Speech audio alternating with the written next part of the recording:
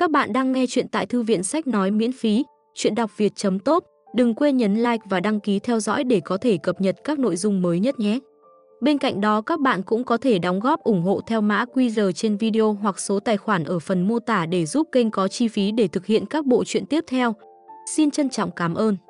Sau đây là bộ truyện Sơn Hải Đề Đăng của tác giả Dược Thiên Sầu. Tập 1 chương 1, Xuân. Mặt trời lặn đỏ rực như đầu của một con thú hung dữ tìm nơi trú ngụ trong cơn thịnh nộ, cảnh tượng vô cùng rực rỡ. Trên mặt đất, những dãy núi tạo thành bóng mờ đầy ánh sáng quái dị, tựa như vẫn còn vương vấn một chút tình cảm nhân từ chưa dứt. Bão cát bắt đầu thổi ào ào, không có một ngọn cỏ nào mọc, nơi xa phóng mắt chỉ thấy toàn là những ngọn đồi hoang vu lởm chởm, nhấp nhô. Trong hẻm núi, một nhóm thợ mỏ bận rộn không ngừng, họ đào bới sâu trong lòng đất, di chuyển những khối đất đá ra ngoài. Trong khi gần đó những con suối nhỏ và kênh rạch bị lấp đầy một đầu rồi một đầu khác. Hoàng hôn buông xuống, ánh sáng trở nên dịu dàng hơn, thiêu đốt cái nóng ngấm dần vào da thịt. Xung quanh công trường trong hẻm núi, các nhân viên bảo vệ lần lượt ngẩng đầu lên nhìn quanh với vẻ cảnh giác. Trên đỉnh núi, một chiếc ghế nằm tạm bợ làm từ những miếng gỗ ghép lại bị hai người khiêng lên rồi hạ xuống. Trên ghế là một người trung niên gầy gò, khuôn mặt lạnh lùng và yếu đuối, mặc dù chưa già nhưng thân thể đã suy yếu. Ông nheo mắt nhìn về phía mặt trời chiều, vẫy tay ra hiệu cho những người xung quanh lùi lại, vẻ mặt phiền muộn. Gió thổi tung mái tóc hoa dâm của ông, khiến cho dáng vẻ ốm yếu càng thêm rõ rệt, nhưng trang phục ông mặc lại rất đúng mực so với nơi này. Đó chỉ là một bộ quần áo bình thường, nhưng so với những người khác, những thợ mỏ xung quanh và thậm chí cả những người bảo vệ, người trung niên này vẫn có vẻ sang trọng hơn. Những người kia, ngay cả các thợ mỏ hay bảo vệ, đều mặc quần áo rách nát, che đi những phần nhạy cảm của cơ thể bằng vài mảnh vải rách, thân thể gầy còm, bẩn thỉu, không có người nào béo tốt ở nơi này. Bảo vệ và thợ mỏ tuy khác nhau, nhưng ngoài việc các bảo vệ mang theo vũ khí, họ còn đeo mặt nạ làm từ che nứa trên mặt. Và trên cánh tay buộc những mảnh vải đen mỏng, mỗi người lại có kiểu khác nhau. Việc sử dụng vải đen để làm mặt nạ ở nơi này, nơi mà vật tư khan hiếm, đã được xem như một sự xa xỉ. Trong hốc núi, những khối đất đá được dọn sạch, đám thợ mỏ gánh quặng trở về, làn da của họ sạm đen, không ai có làn da trắng và sạch sẽ như người trung niên đang nằm trên ghế kia. Hầu hết thợ mỏ đi chân trần, một số khác treo giày cỏ lên lưng để không làm mòn quá nhiều đôi giày quý giá của họ. Dù vậy, họ đã quen và lòng bàn chân của họ cũng đã dày lên theo thời gian. Giữa đám thợ mỏ, có hai người nổi bật hơn hẳn. Chiều cao chỉ là tương đối, người thấp tuy không lùn, nhưng đứng cạnh người cao thì dường như thấp hơn hẳn. Cả hai người đều che mặt bằng những mảnh vải, nhưng không thể che giấu được khí chất trẻ trung trên khuôn mặt họ, dù cho râu tóc đã lâu không được chăm sóc. Khác với những người thợ mỏ mệt mỏi, hai người này tập trung nhìn về phía người trung niên trên đỉnh núi, họ quan sát từ xa. Khi đến cửa hầm mỏ, họ vô tình va phải một người đàn ông khác mà không hề hay biết. Những thợ mỏ khác đều né tránh nhường đường, nhưng hai người này không kịp, suýt nữa thì đụng phải người mới đến. Người mới đến là một người đàn ông với khuôn mặt dữ tợn, tên là Thân Viu Côn. Mặc dù quần áo của hắn cũng vá chẳng vá đụp, nhưng hắn là một trong hai người duy nhất ở đây có bộ y phục hoàn chỉnh. Thân Viu Côn là người chủ trì công việc khai thác mỏ ở đây. Hắn nổi tiếng là người có tính tình hung bạo, thường xuyên đánh đập, mắng mỏ thợ mỏ. Tuy vậy, hắn cũng là người giúp họ có cơm ăn hai bữa mỗi ngày và hứa sẽ trả công bằng lương thực sau khi công việc hoàn thành. Trước đây, thân Viu Côn là người đứng đầu ở đây, cho đến khi người trung niên kia xuất hiện không lâu trước đây. Từ đó, hắn phải khom lưng tuân lệnh người trung niên kia, khiến hai người trẻ tuổi đặc biệt chú ý đến ông. Họ không biết người trung niên đó là ai, chưa từng thấy ông ở đất lưu đày này, nhưng họ biết rõ mối quan hệ giữa ông và thân Viu Côn, thậm chí từng có xích mích. Khi cả ba chạm mặt, hai người trẻ tuổi có phần căng thẳng, không ngờ lại va chạm trực tiếp như vậy.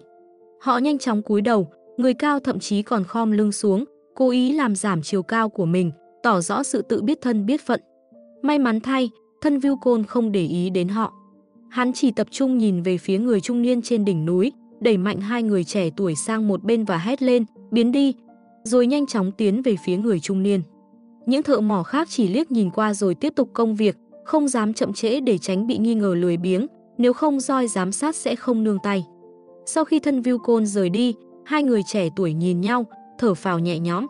Người cao thậm chí vô thức vỗ ngực, cảm thấy may mắn vì đã thoát nạn. Thân Viu Côn leo lên đỉnh núi, từng hòn đá lăn xuống dưới theo bước chân hắn. Khi đến gần người trung niên, hắn đã thở hổn hển. Cứu cứu, sao ngài lại lên đỉnh núi hóng gió? Tu vi của ngài đã bị phế, thân thể lại yếu ớt, dễ bị gió độc xâm nhập, ngài nên điều dưỡng cẩn thận hơn. Chính thân Viu Côn cũng đã bị phế tu vi, nên mới bị đầy đến vùng đất lưu đày này, chỉ là hắn đến sớm hơn người cữu cữu vài năm. Người trung niên, tên là Kỳ Tự Như, mắt vẫn hướng về phía chân trời, tựa như đang nói mê, ngươi nói rằng muốn dọn sạch đông cửu nguyên này trước khi bắt đầu làm việc, tất cả đã sạch sẽ chưa? Thân Viu Côn, vốn định lên tiếng cam đoan, nhưng rồi nhận ra trong lời nói của cữu cữu có ý gì đó sâu xa. Hắn do dự một lúc, nhìn về phía chân núi, nơi công việc đang diễn ra bận rộn nhiều ngày qua. Cuối cùng, hắn chỉ đáp lại bằng một giọng nhỏ nhẹ, cũng gần xong rồi. Kỳ tự như không hề nhúc nhích, giữ nguyên vẻ mặt lãnh đạm. Trước đó, ngươi đã nói Đông Cửu Nguyên là một nơi rất khó xử lý, khó có thể giữ bí mật khi làm việc. Ngươi bảo rằng cần đầy đủ vật tư mới có thể dọn dẹp sạch sẽ. Ngươi phải hiểu rõ rằng đưa đồ vật vào vùng đất lưu đày này không phải chuyện dễ, ngay cả việc mang vào một trang giấy cũng đã rất khó khăn, vậy mà ta vẫn cố gắng hết sức giúp ngươi đưa vật tư vào. Giờ đây, ngươi đã bắt đầu khai thác, nhưng lại bảo với ta rằng mọi thứ gần xong. Cái gọi là gần xong đó là kém bao nhiêu. Thân viu côn cúi đầu, nói với vẻ lúng túng, cơ bản đã dọn dẹp sạch sẽ, chỉ còn thiếu hai người nữa. Sau đó hắn ngẩng đầu lên và nói tiếp, không quan trọng hai người này, không đáng để bận tâm. Kỳ tự như vẫn chăm chú nhìn về phía chân trời, khuôn mặt không biểu lộ chút hứng thú nào, không quan trọng. Ngươi đã nắm trong tay nhiều nhân lực như vậy mà lại không thể hoàn thành dọn dẹp vì hai người không quan trọng. Ta muốn biết thế nào là không quan trọng đối với hai người này. Thân Viu Côn có chút ngượng ngùng, nhưng biết rằng đến nước này thì không thể giấu giếm được nữa, hắn thành thật trả lời. Một người là đại đương gia của Đông Cửu Nguyên, Sư Xuân, còn người kia là tùy tùng đáng tin của hắn, Ngô Cân Lượng. Họ dẫn theo hơn trăm người, tất cả đã được đưa vào kế hoạch của ta, giờ đây cả Đông Cửu Nguyên chỉ còn lại hai người bọn họ. Không có ai giám sát, với một địa vực rộng lớn như vậy, hai người bọn họ sẽ không thể phát hiện ra những động tĩnh bí mật ở đây. Kỳ tự như chậm rãi nghiêng đầu, lạnh lùng nhìn hắn chằm chằm, nói cách khác, những người chưa bị dọn sạch lại chính là hai kẻ lớn nhất của Đông Cửu Nguyên. Hai người này có xuất thân thế nào? Thân Viu Côn bật ra một âm thanh khinh miệt, chỉ là những tên thổ dân bản địa. Tổ tiên của họ thì không ai có thể kiểm chứng được. Cha mẹ của họ đã chết trong một cuộc tranh giành nguồn nước. Cả hai đều lớn lên nhờ ăn bữa cơm từ trăm nhà, chỉ là lũ ăn mày thối tha, mạng lớn lắm mới không chết đói. Giọng nói của hắn đầy sự hận thù, như thể chỉ mong có thể trả đạp hai người đó thành bùn nhão. Kỳ tự như nhấc nhẹ khóe mắt, nhận ra rằng từ khi bị giáng chức đến vùng đất lưu đày này, có lẽ cháu trai của mình đã có mâu thuẫn gì đó với đại đương gia sư Xuân. Cháu trai không muốn nói, và với tình trạng hiện tại của mình, kỳ tự như cũng không muốn hỏi thêm. Ông tự có phán đoán của riêng mình về những gì đã xảy ra. Mặc dù đây là lần đầu tiên kỳ tự như đến vùng đất lưu đày, nhưng ông đã sớm có hiểu biết về hoàn cảnh ở đây, về tình trạng của những thổ dân bản địa. Những người còn sống sót ở đây, hoặc là lưu vong từ nơi khác, hoặc là con cháu của những kẻ lưu vong. Việc phạm tội và bị lưu đày kéo theo những nam nữ đến đây và họ sinh sôi nảy nở, dẫn đến những thế hệ mới của thổ dân bản địa. Nơi này thiếu thốn vật tư trầm trọng, bất kể là kẻ lưu vong hay thổ dân bản địa, vấn đề lớn nhất vẫn là sinh tồn. Người ta chém giết lẫn nhau để giành nguồn nước hoặc thậm chí là một cây cối. Những thứ có thể đổi lấy tiền đều trở thành mục tiêu tranh đoạt. Việc khai thác bừa bãi đã làm hư hại nghiêm trọng môi trường, khiến cho các điều kiện sống cơ bản bị mất đi khả năng tái tạo, dẫn đến cuộc chiến sinh tồn ngày càng khốc liệt. Thứ gọi là tiền ở đây thực chất không lưu thông, nó chỉ được sử dụng trong các thành phố được chỉ định để mua vật tư sinh tồn và còn được gọi là công đức. Khi tích lũy đủ công đức, người ta có thể rời khỏi vùng đất lưu đày và lấy lại tự do. Thành phố thực ra chính là những cánh cổng khổng lồ của nhà tù Lộ Thiên, nối liền hai thế giới. Những thành phố như vậy được bố trí khắp nơi trong vùng đất lưu đày này. Những kẻ lưu vong như kỳ tự như, dù có tích lũy đủ công đức, cũng không thể thoát ra khỏi đây nếu chưa hoàn thành thời gian bị giam cầm. Ví dụ, nếu bị phán 10 năm tù, không được ân xá, thì cho dù có tích lũy đủ công đức cũng không thể rời đi trước khi hết hạn. Hầu hết những kẻ lưu vong đều là người tu hành, trước khi bị đày đến đây, họ phải chịu đựng những cực hình và mất hết tu vi, không còn khả năng tu luyện lại trong suốt thời gian bị lưu đày, khiến cho hình phạt ở đây khắc nghiệt hơn cả đối với người bình thường. Không có tu vi, muốn sống sót trong hoàn cảnh khắc nghiệt này là điều vô cùng khó khăn. Những người bình thường rất khó để qua được thời hạn thi hành án. Những kẻ bị lưu đày, ngoài bộ quần áo trên người, không được mang theo bất cứ thứ gì, kể cả một tờ giấy. con cháu của những kẻ lưu đày có thể thoát khỏi vùng đất này bằng cách tích lũy đủ công đức, nhưng việc đó cũng không hề dễ dàng. Thân Viu Côn hừ hai tiếng rồi tiếp tục nói, tên sư Xuân đó vốn không có họ, cha mẹ hắn cũng không biết tổ tiên của mình là ai. Nghe nói hắn sinh vào mùa xuân nên được gọi là Xuân, một cách đặt tên thông thường của đám dân đen hạ đẳng ở vùng đất lưu đày này. Đối với họ, cái tên chỉ là một cách xưng hô, không có gì đáng chú ý. Khi Sư Xuân còn nhỏ, một nữ tù nhân lưu vong lưu lạc đến Đông Cửu Nguyên. Nghe nói bà ta rất xinh đẹp và được dân bản địa cho phép lưu lại vì đã chỉ điểm cho họ. Trong thời gian ở đó, bà đã dạy cho một vài đứa trẻ biết đọc, trong đó có Sư Xuân. Sau khoảng 3 năm, bà rời đi, không ai biết bà đi đâu, liệu bà có hoàn thành thời gian giam cầm và thoát khỏi vùng đất này hay không. Thậm chí không ai biết tên thật của bà, chỉ có quan chức trong thành mới rõ lai lịch của bà. Sư Xuân xem bà như là lão sư của mình, vì cảm niệm ân nghĩa nên đã lấy chữ sư làm họ của mình. Tuy nhiên, do hắn chỉ biết một ít chữ mà chưa bao giờ đọc qua sách vở, nên cái tên đó thường bị người ta chế nhạo thành Tư Xuân. Mặc dù đã hiểu ra ý nghĩa, nhưng hắn không thể đổi tên được nữa và nhiều lần vì chuyện đó mà đánh nhau với người khác. Chương 2, Thư Tương Kỳ tự như hỏi, người phụ nữ đó có dạy hắn phương pháp tu hành không? Thân Viu Côn trả lời, không có, không như bên ngoài. Ở đây không thiếu những tu sĩ bị lưu vong, để sống sót, họ phải để lại một số bí quyết. Vì vậy, thổ dân bản địa cũng không thiếu phương pháp tu hành. Sư Xuân đã bắt đầu con đường tu luyện từ nhỏ, người phụ nữ đó chỉ dạy hắn biết một chút chữ. Điều đáng cười là, sau khi đến đây, hắn bắt đầu giả vờ làm người văn nhã, thậm chí còn mặc một bộ áo dài văn nhân, thật khiến người ta khó chịu. Kỳ tự như lập tức ngắt lời, nói vào trọng điểm. Thân Viu Côn câm lặng một lúc, rồi nói tiếp, Sư Xuân giỏi gian trá, trước mặt thì tỏ ra trung thực, nhưng sau lưng lại mưu mô. Sau khi có chút thành tựu tu vi, hắn nhanh chóng nắm quyền kiểm soát Đông Cửu Nguyên và trở thành đại đương gia ở đó. Hắn tuyên bố rằng mình đã lớn lên nhờ ăn cơm của trăm nhà ở Đông Cửu Nguyên, vì vậy sẽ không phụ lòng mọi người. Hắn đã thực sự cố gắng giúp đưa nhiều người Đông Cửu Nguyên vào thành. Ta đã lợi dụng chính sơ hở này của hắn để quăng mồi dụ và làm sạch hết những tai mắt của hắn. Kỳ tự như có chút ngạc nhiên, có cơ hội rời khỏi đất lưu đày, tại sao hắn không đi? Hay là tài nguyên của hắn không đủ để thoát thân? Gió lại thổi mạnh lên khi câu hỏi này được đưa ra. Thân Viu Côn hơi co khóe miệng, cúi người kéo tay áo lên để che chắn cho kỳ tự như khỏi bão cát, đáp, tài nguyên của hắn chắc chắn đủ, công đức của hắn cũng thừa để rời khỏi đây. Quỷ mới biết vì sao hắn không đi. Ta cũng đã rất bối rối khi chứng kiến điều đó. Có cơ hội thoát thân mà không đi, không có thế lực bảo vệ bên cạnh, chẳng lẽ hắn không lo sợ sao? Sau này nghĩ kỹ, có lẽ là vì một người phụ nữ. Nói đến đây, thân Viu Côn cười nhạt, không phải là bí mật gì, Sư Xuân đã phải lòng con gái của bà chủ bác vọng lâu trong thành. Nhưng thành chủ mở cửa hàng buôn bán trong đất lưu đầy này, làm sao mà người ta có thể để ý đến hắn chứ? Hắn chỉ là cóc ghẻ đòi ăn thịt thiên nga mà thôi. Ngoài lý do này, ta không nghĩ ra lý do nào khác khiến hắn còn lưu lại ở nơi này. Sau khi nói ra kết luận đó, thân Viu Côn quan sát vẻ mặt của kỳ tự như, nhưng không thấy có phản ứng gì. Liên tiếp tục nói, còn về ngu cân lượng, đó là một người to cao, thường thích khoe mẽ với một thanh đại đao quá khổ. Thực ra không có bản lĩnh gì. Hắn dựa vào việc làm chó săn cho Sư Xuân, ỷ thế hiếp người, không phải loại người tốt. Nghe nói lúc hắn mới sinh ra nhỏ bé và yếu đuối, suýt không sống nổi, nên mới có tên là Cân Lượng. Sau này, khi Sư Xuân biết chữ, muốn khoe khoang, nên thêm cho hắn họ ngô, thành ngô Cân Lượng. Nhưng thật ra, hắn chẳng có chút cân lượng nào. Ha ha, cứu cứu, nhìn từ cách đặt tên của hắn thôi cũng đủ thấy hắn là người thế nào rồi. Những gì thân Viu Côn nói rõ ràng đã được tìm hiểu kỹ lưỡng. Hắn nói, còn kỳ tự như lặng lẽ nghe, không đưa ra ý kiến gì. Nghe xong, kỳ tự như hỏi tiếp, sư Xuân Tu Vi ở mức nào, đã đạt cao võ chưa? Thân Viu Côn cười, cứu cứu, ngài đề cao vùng đất lưu đầy này quá rồi. Ở đây, tài nguyên tu luyện gần như không có, ngay cả việc ăn no cũng khó khăn. Tu Vi có thể đạt đến mức cao võ thì đếm được trên đầu ngón tay, mà ai có thực lực đó cũng đã sớm rời khỏi nơi này.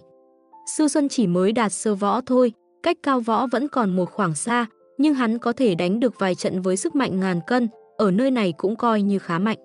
Nói đến sức mạnh ngàn cân, thân Viu Côn cười tự diễu. Trước đây, khi tu vi của hắn còn, hắn chẳng bao giờ để ý đến chuyện tính toán chi ly như thế, nhưng giờ phải thừa nhận rằng sức mạnh ngàn cân ở đây là rất đáng kể. Sơ võ thực ra là một cấp bậc thấp trong tu hành, dưới các cấp độ như cao võ, nhân tiên, địa tiên, thiên tiên. Giọng kỳ tự như bỗng có vẻ chất vấn, nếu hắn chưa đạt đến cao võ, mà ngươi đã đưa bao nhiêu nhân thủ tới, thực lực của họ cũng không kém gì hắn, vậy tại sao ngươi không loại bỏ được hắn và Ngô Cân Lượng? Chẳng lẽ bọn chúng đã trốn đi, ngươi không tìm thấy họ sao? Thân Viu Côn giờ mới hiểu cữu cữu đang nhắm đến điều gì, vô thức đáp, không phải không tìm thấy. Nói đến đây, khuôn mặt hắn hơi lộ vẻ xấu hổ.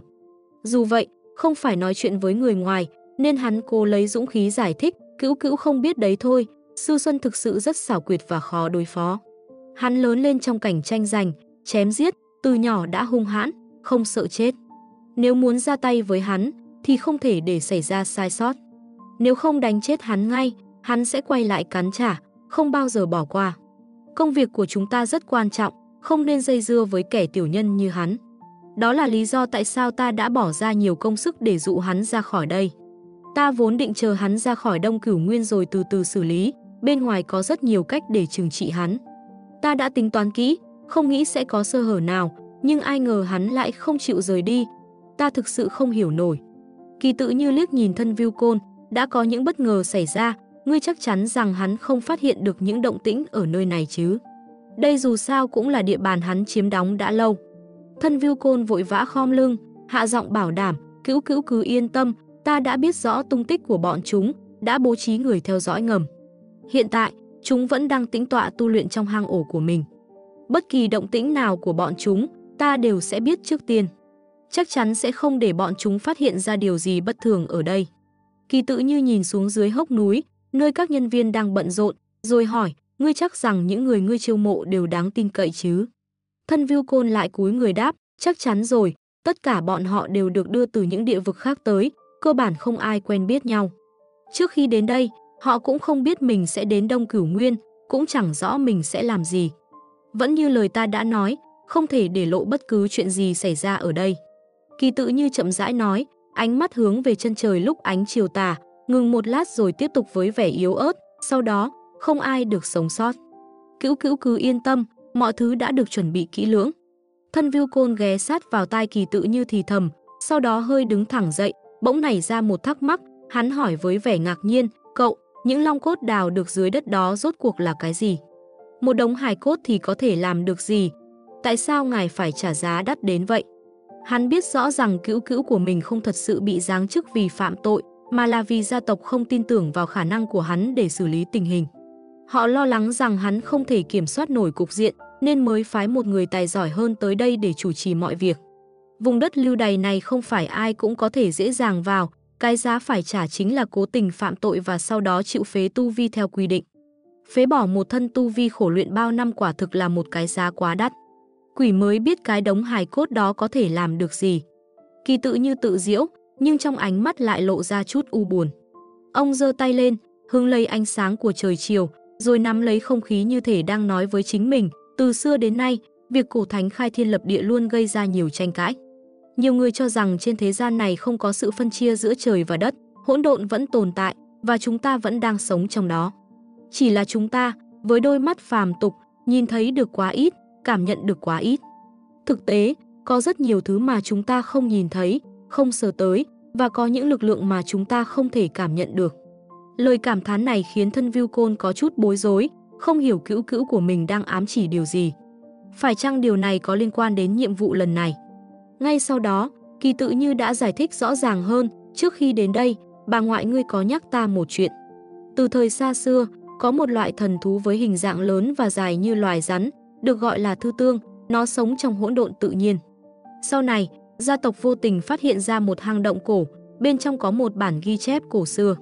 Bản ghi này miêu tả rằng một vị cổ thần cưỡi trên một con linh xà khổng lồ.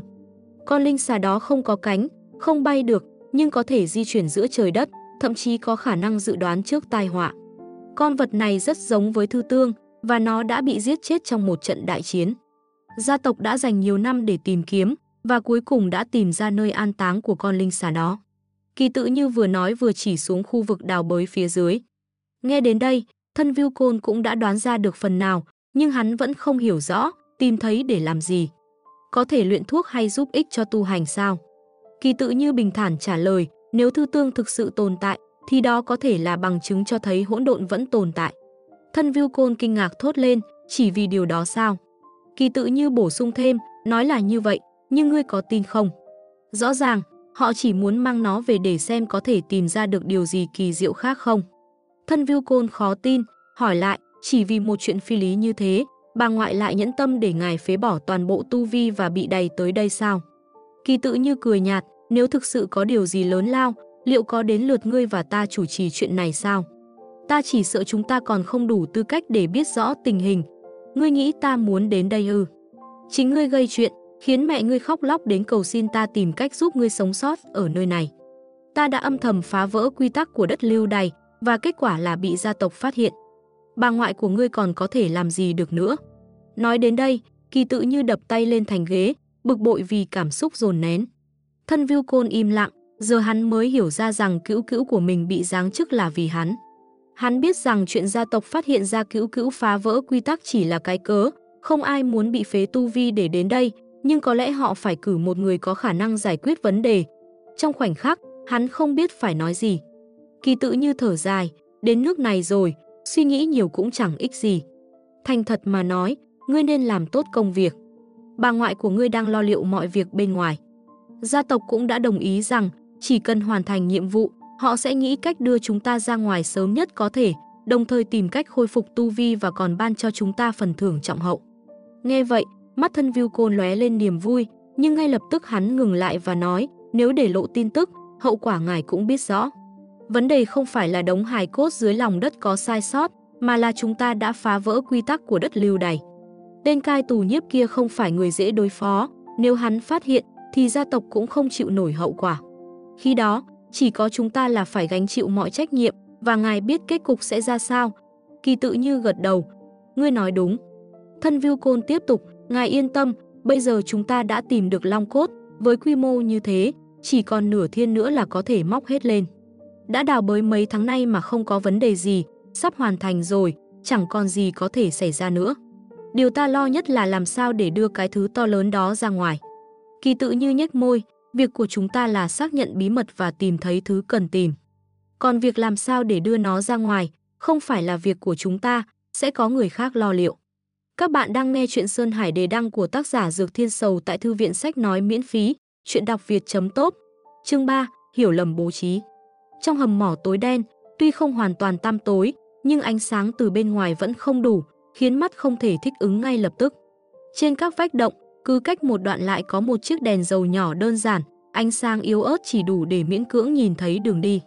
Hai người, một cao một thấp, lặng lẽ bước đi, cố ý chậm lại và thỉnh thoảng nhìn quanh dò xét. Đó chính là hai người mà thân Viu Côn đã nhắc tới, những kẻ hắn căm hận nhất vì chưa bị dọn sạch. Nhìn dáng cao lớn, cũng có thể phân biệt được ai là ai trong số hai người này. Khi đã kéo dài khoảng cách với nhóm thợ mỏ phía trước và chắc chắn không có ai đến gần từ phía sau. Ngô Cân Lượng, người cao lớn, vẫn giữ vẻ lo lắng, nhỏ giọng phàn nàn với Sư Xuân bên cạnh, nguy hiểm thật. Suýt nữa thì thân Viu Côn nhận ra chúng ta. Ta đã nói việc này rất nguy hiểm, không nên đến, nhưng ngươi lại cứ muốn tham gia. Sư Xuân thì thầm đáp lại, không sao đâu, ta đã kiểm tra kỹ rồi, tất cả đều là người từ nơi khác đến, mặt mũi lạ hoắc. Ngoại trừ thân Viu Côn, chẳng ai nhận ra chúng ta cả. Việc đụng phải hắn lúc nãy chỉ là ngẫu nhiên thôi, không có khả năng lúc nào cũng đụng phải. Ngô Cân Lượng trừng mắt, nhắc nhở, ta nói này Xuân Thiên, đừng có mà may mắn thế, chúng ta làm việc quá lộ liễu rồi. Ngộ nhỡ lại đụng phải hắn thì sao? Hắn đâu có mù, không thể luôn nhìn nhầm được. Hắn căm ghét chúng ta lắm, chỉ cần nhìn thấy ta cao như thế này là nhận ra ngay. Nếu lại gặp hắn, 89 phần 10 là chúng ta sẽ bị vây đánh. Sư Xuân khinh thường ngắt lời, hô cái gì mà hô, không nhận ra chúng ta thì thôi. Còn nếu có đụng mặt thật, để xem hắn dám làm gì. Hắn chỉ là một kẻ đã mất hết tu vi, bắt hắn làm con tin có gì khó. Chỉ cần ta phát hiện ra điều gì bất thường, mọi chuyện sẽ được giải quyết dễ dàng. Không có gì phải sợ cả, cứ bình tĩnh mà làm, đừng có nghi thần nghi quỷ rồi tự hù dọa chính mình. Ngô Cân Lượng vò đầu, ngẫm lại thấy Sư Xuân nói cũng đúng. Nếu thật sự gặp thân Viu Côn, bắt hắn làm con tin cũng chẳng phải chuyện khó. Nhưng rồi hắn lại nhanh chóng thay đổi suy nghĩ và nói, không đúng, thật không cần thiết phải mạo hiểm nữa.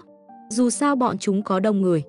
Chúng ta đã thấy đống hài cốt kia rồi, sờ mó cũng đã sờ, xem xét cũng đã xem, nhưng chẳng có gì đặc biệt ở bộ xương ấy. Đống xương đó quá lớn, dù đáng giá đi nữa, chỉ với hai người chúng ta cũng không thể mang đi được. Tiếp tục ở lại chỉ khiến chúng ta dễ bị phát hiện, nên tranh thủ thời gian mà rút lui thôi. Trước đây, hắn không bao giờ dám khuyên nhủ đại đương ra quyết định gì, nhưng bây giờ thì khác. Bọn họ đã tích lũy đủ công đức, trách nhiệm trên vai ở Đông Cửu Nguyên cũng đã hoàn thành. Ngay cả nếu muốn gặp lại cô con gái của bà chủ bác vọng lâu, họ cũng không cần phải mạo hiểm nữa. Chỉ cần chờ đợi, sau đó dùng công đức để đổi lấy tự do, chẳng đáng để tự gây phiền phức thêm. Sở dĩ hai người bọn họ vẫn xuất hiện ở đây là vì họ vừa tích lũy được một lượng lớn công đức. Chuyện ngắn gọn là họ đã cướp được một số lượng lớn vật tư, thực sự là một khoản rất lớn. Ngay cả bọn họ cũng cảm thấy ngạc nhiên vì sự dễ dàng của vụ cướp. Một nhóm người vô cùng vui sướng, nhưng đại đương gia lại cau mày và nói rằng có điều gì đó không đúng. Lực lượng hộ vệ và số lượng vật liệu dường như không khớp với nhau. Vụ cướp diễn ra quá dễ dàng, khiến đại đương gia nghi ngờ. Về sau, khi vật liệu đã được đưa vào thành và giao dịch thành công, đại đương gia vẫn cảm thấy có điều gì không ổn. Hắn nghĩ rằng với số lượng vật liệu lớn như vậy, người sở hữu chúng hẳn là có thực lực mạnh. Nếu họ không tìm cách lấy lại thì cũng phải gây ra chút rắc rối, nhưng không một tin tức nào lọt ra. Cuối cùng, không có ai đến hiện trường cướp bóc để thăm dò hay truy xét. Và số vật tư đó, khi quy đổi theo giá trị công đức, vừa đủ để tất cả mọi người ở Đông Cửu Nguyên có thể mua lấy tự do. Trước con số này, đại đương gia đã trầm tư rất lâu. Khi mọi người đều vô cùng phấn khích, đại đương gia cũng không nói thêm gì. Hắn công bằng phân chia số công đức cho tất cả mọi người. Sau khi mọi thứ đã ổn thỏa, đại đương gia tiễn mọi người rời đi, mắt đỏ hoe, như thể sắp khóc. Hắn cúi đầu thật lâu khi mọi người lần lượt rời khỏi, chỉ còn lại hai người bọn họ. Ngô Cân Lượng nghĩ rằng hắn hiểu lý do đại đương gia không rời đi.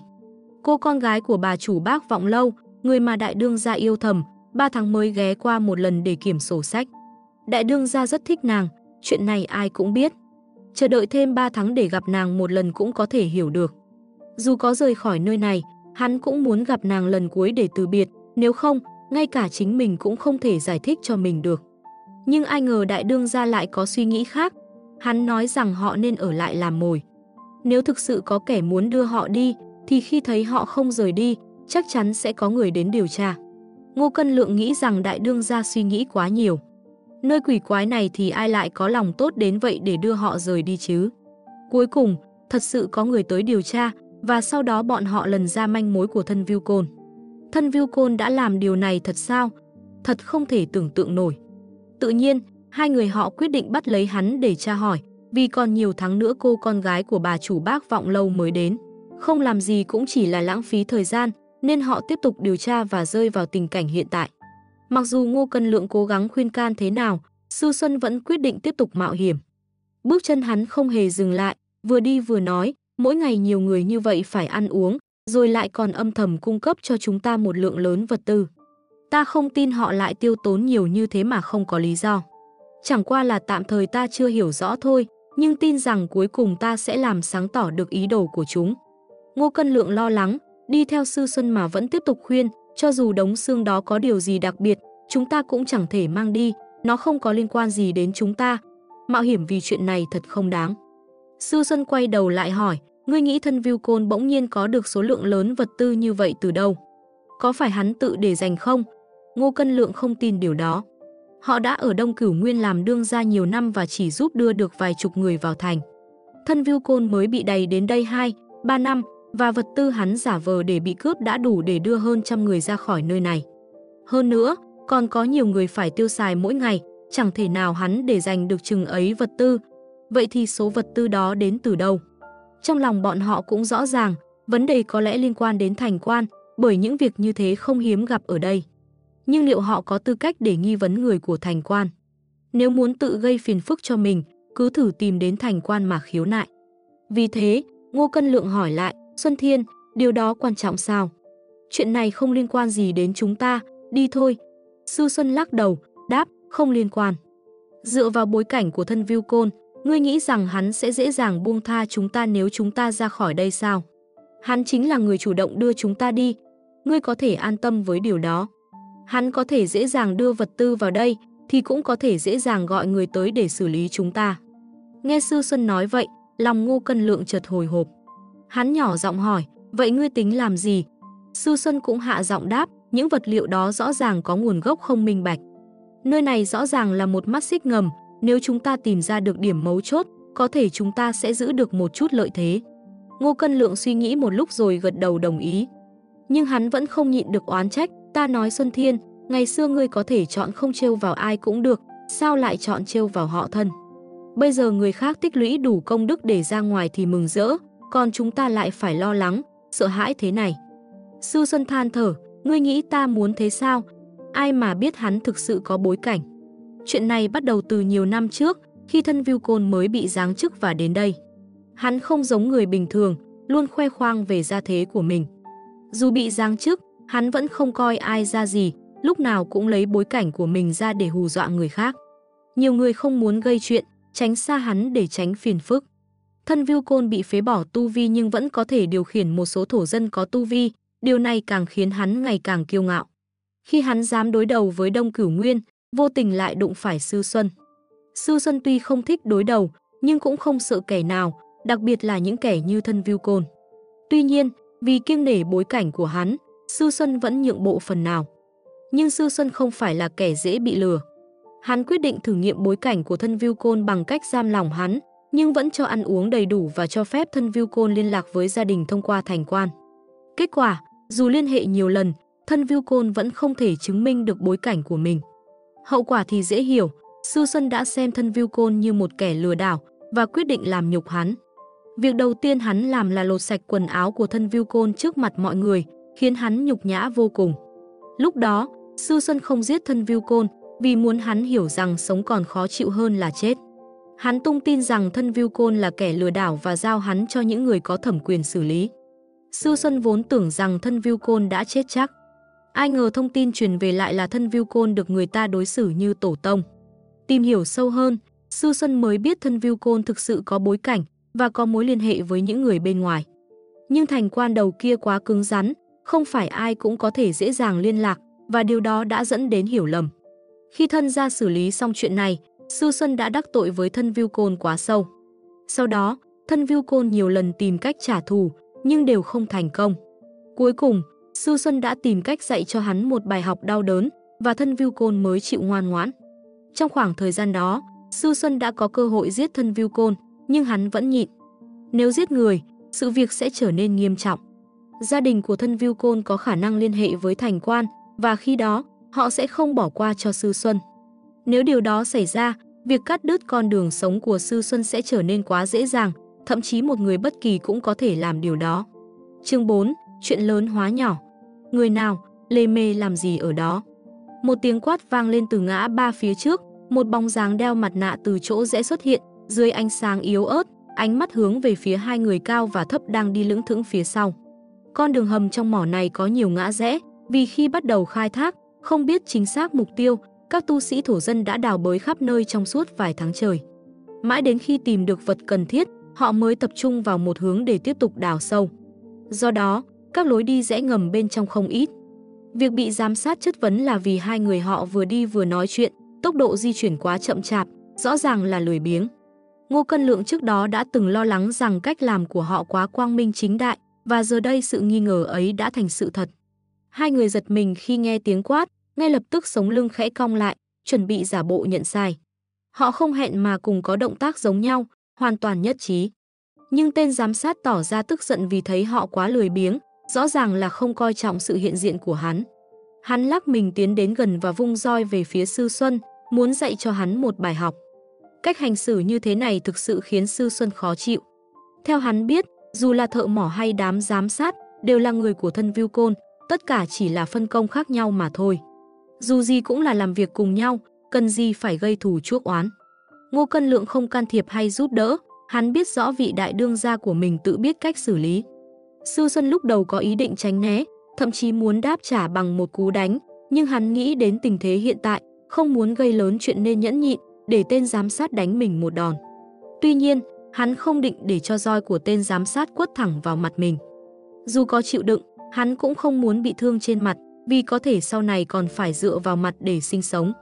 Hắn giơ tay lên để ngăn cản đòn roi. Chát! Tiếng roi vang lên, Sư Xuân nhe răng nhếch miệng vì đau.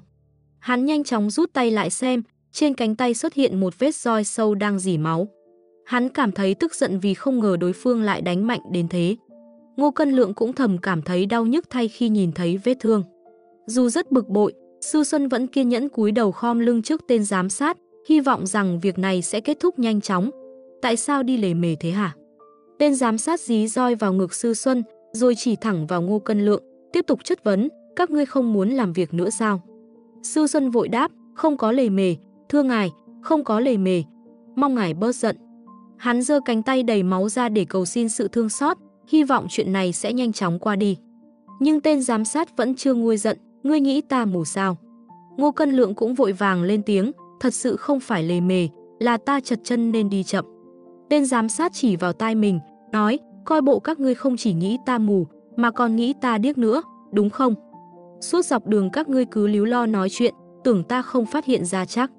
Được thôi, các ngươi muốn nói chuyện, vậy cứ đứng đây mà nói, miễn là không ai có ý kiến. Lời vừa dứt, cả hai người lập tức biến sắc. Nếu phải đứng đây nói chuyện trước mặt bao nhiêu người qua lại, bọn họ sẽ bị chú ý ngay lập tức. Nếu thân Viu Côn đến gây chuyện thì tình hình sẽ còn tệ hơn. Việc bắt tên giám sát làm con tin cũng là phương án cuối cùng, nếu không phải bất đắc dĩ thì không đáng làm vậy. Sư Xuân lúc này cố gắng cầu xin, thưa ngài, đừng có di chuyển. Tên giám sát quát lớn, roi chỉ vào chân Sư Xuân khi hắn định tiến lên vài bước. Ta đã bảo các ngươi đứng yên mà trò chuyện, không nghe rõ sao, cứ tiếp tục trò chuyện đi. Sư Xuân đứng yên, ánh mắt từ phía sau mái tóc rũ xuống tập trung vào tên giám sát. Hắn liếc nhìn sang Ngô Cân Lượng, ra hiệu bằng ánh mắt. Ngô Cân Lượng hiểu ý, ngay lập tức quỳ xuống đất, nước mắt rơi là trả, khóc lóc cầu xin, ta sai rồi. Nhà ta còn có người già, có con nhỏ, ta chỉ mong nhận được chút tiền công lần này thôi. Xin ngài tha cho ta lần này. Ngô Cân Lượng vừa khóc vừa bò đến, ôm chặt lấy chân tên giám sát mà cầu xin. Tên giám sát bất ngờ trước sự mềm yếu này, hắn la lớn, tránh ra. Và cố đẩy Ngô Cân Lượng ra, nhưng lại bị hắn ôm chặt hơn. Ngô Cân Lượng tiếp tục quỳ, từ từ ôm lấy cánh tay của tên giám sát, khiến hắn không thể cử động. Tên giám sát nhận ra có điều không đúng, nhưng ngay khi hắn định phản kháng, hắn cảm thấy một luồng gió lạnh trên cổ. Ánh sáng yếu ớt phản chiếu lên một con dao nhỏ sáng loáng và hắn cảm nhận được sự đau đớn trên cổ mình.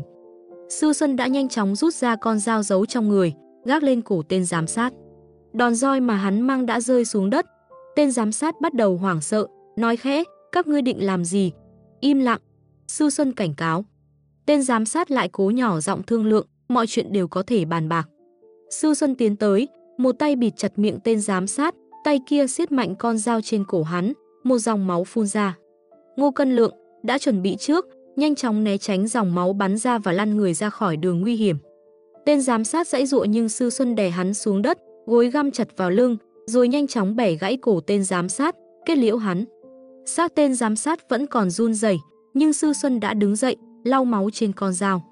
Từ sâu trong hầm mỏ, tiếng bước chân vang vọng lại, hắn thì thầm, có người đến, nhanh chóng thu dọn. Chính vì lý do này mà Sư Xuân đã quyết định giết tên giám sát, vì nếu kéo dài, họ sẽ không còn cơ hội thoát khỏi tình huống này. Không chần chừ, Ngô Cân Lượng vội vàng ôm lấy xác tên giám sát và kéo vào góc khuất của ngã ba nơi họ vừa đi qua. Sư Xuân nhanh chóng giấu con dao vào ống chân, rồi lấy một chiếc mặt nạ từ gánh dưới đáy sọt và đeo lên. Hắn buộc miếng vải đen mỏng lên cánh tay, rồi nhặt lấy cây roi của tên giám sát. Hai chiếc gánh nhanh chóng được xếp chồng lên nhau và đặt sang một bên, hắn vội vàng quét đất để che đi vết máu. Vừa vung tay dùng phép thuật dẹp yên lớp bụi mù, Sư Xuân đã thấy hai tên giám sát trong trang phục của họ bước nhanh tới. Khi đi qua, hai người này không có vẻ gì muốn trao đổi với Sư Xuân. Dù hai chiếc gánh được chồng lên bên cạnh, họ cũng không để ý, nhưng dường như có điều gì đó kỳ lạ khiến họ dừng bước, hơi thở như đang rè chừng.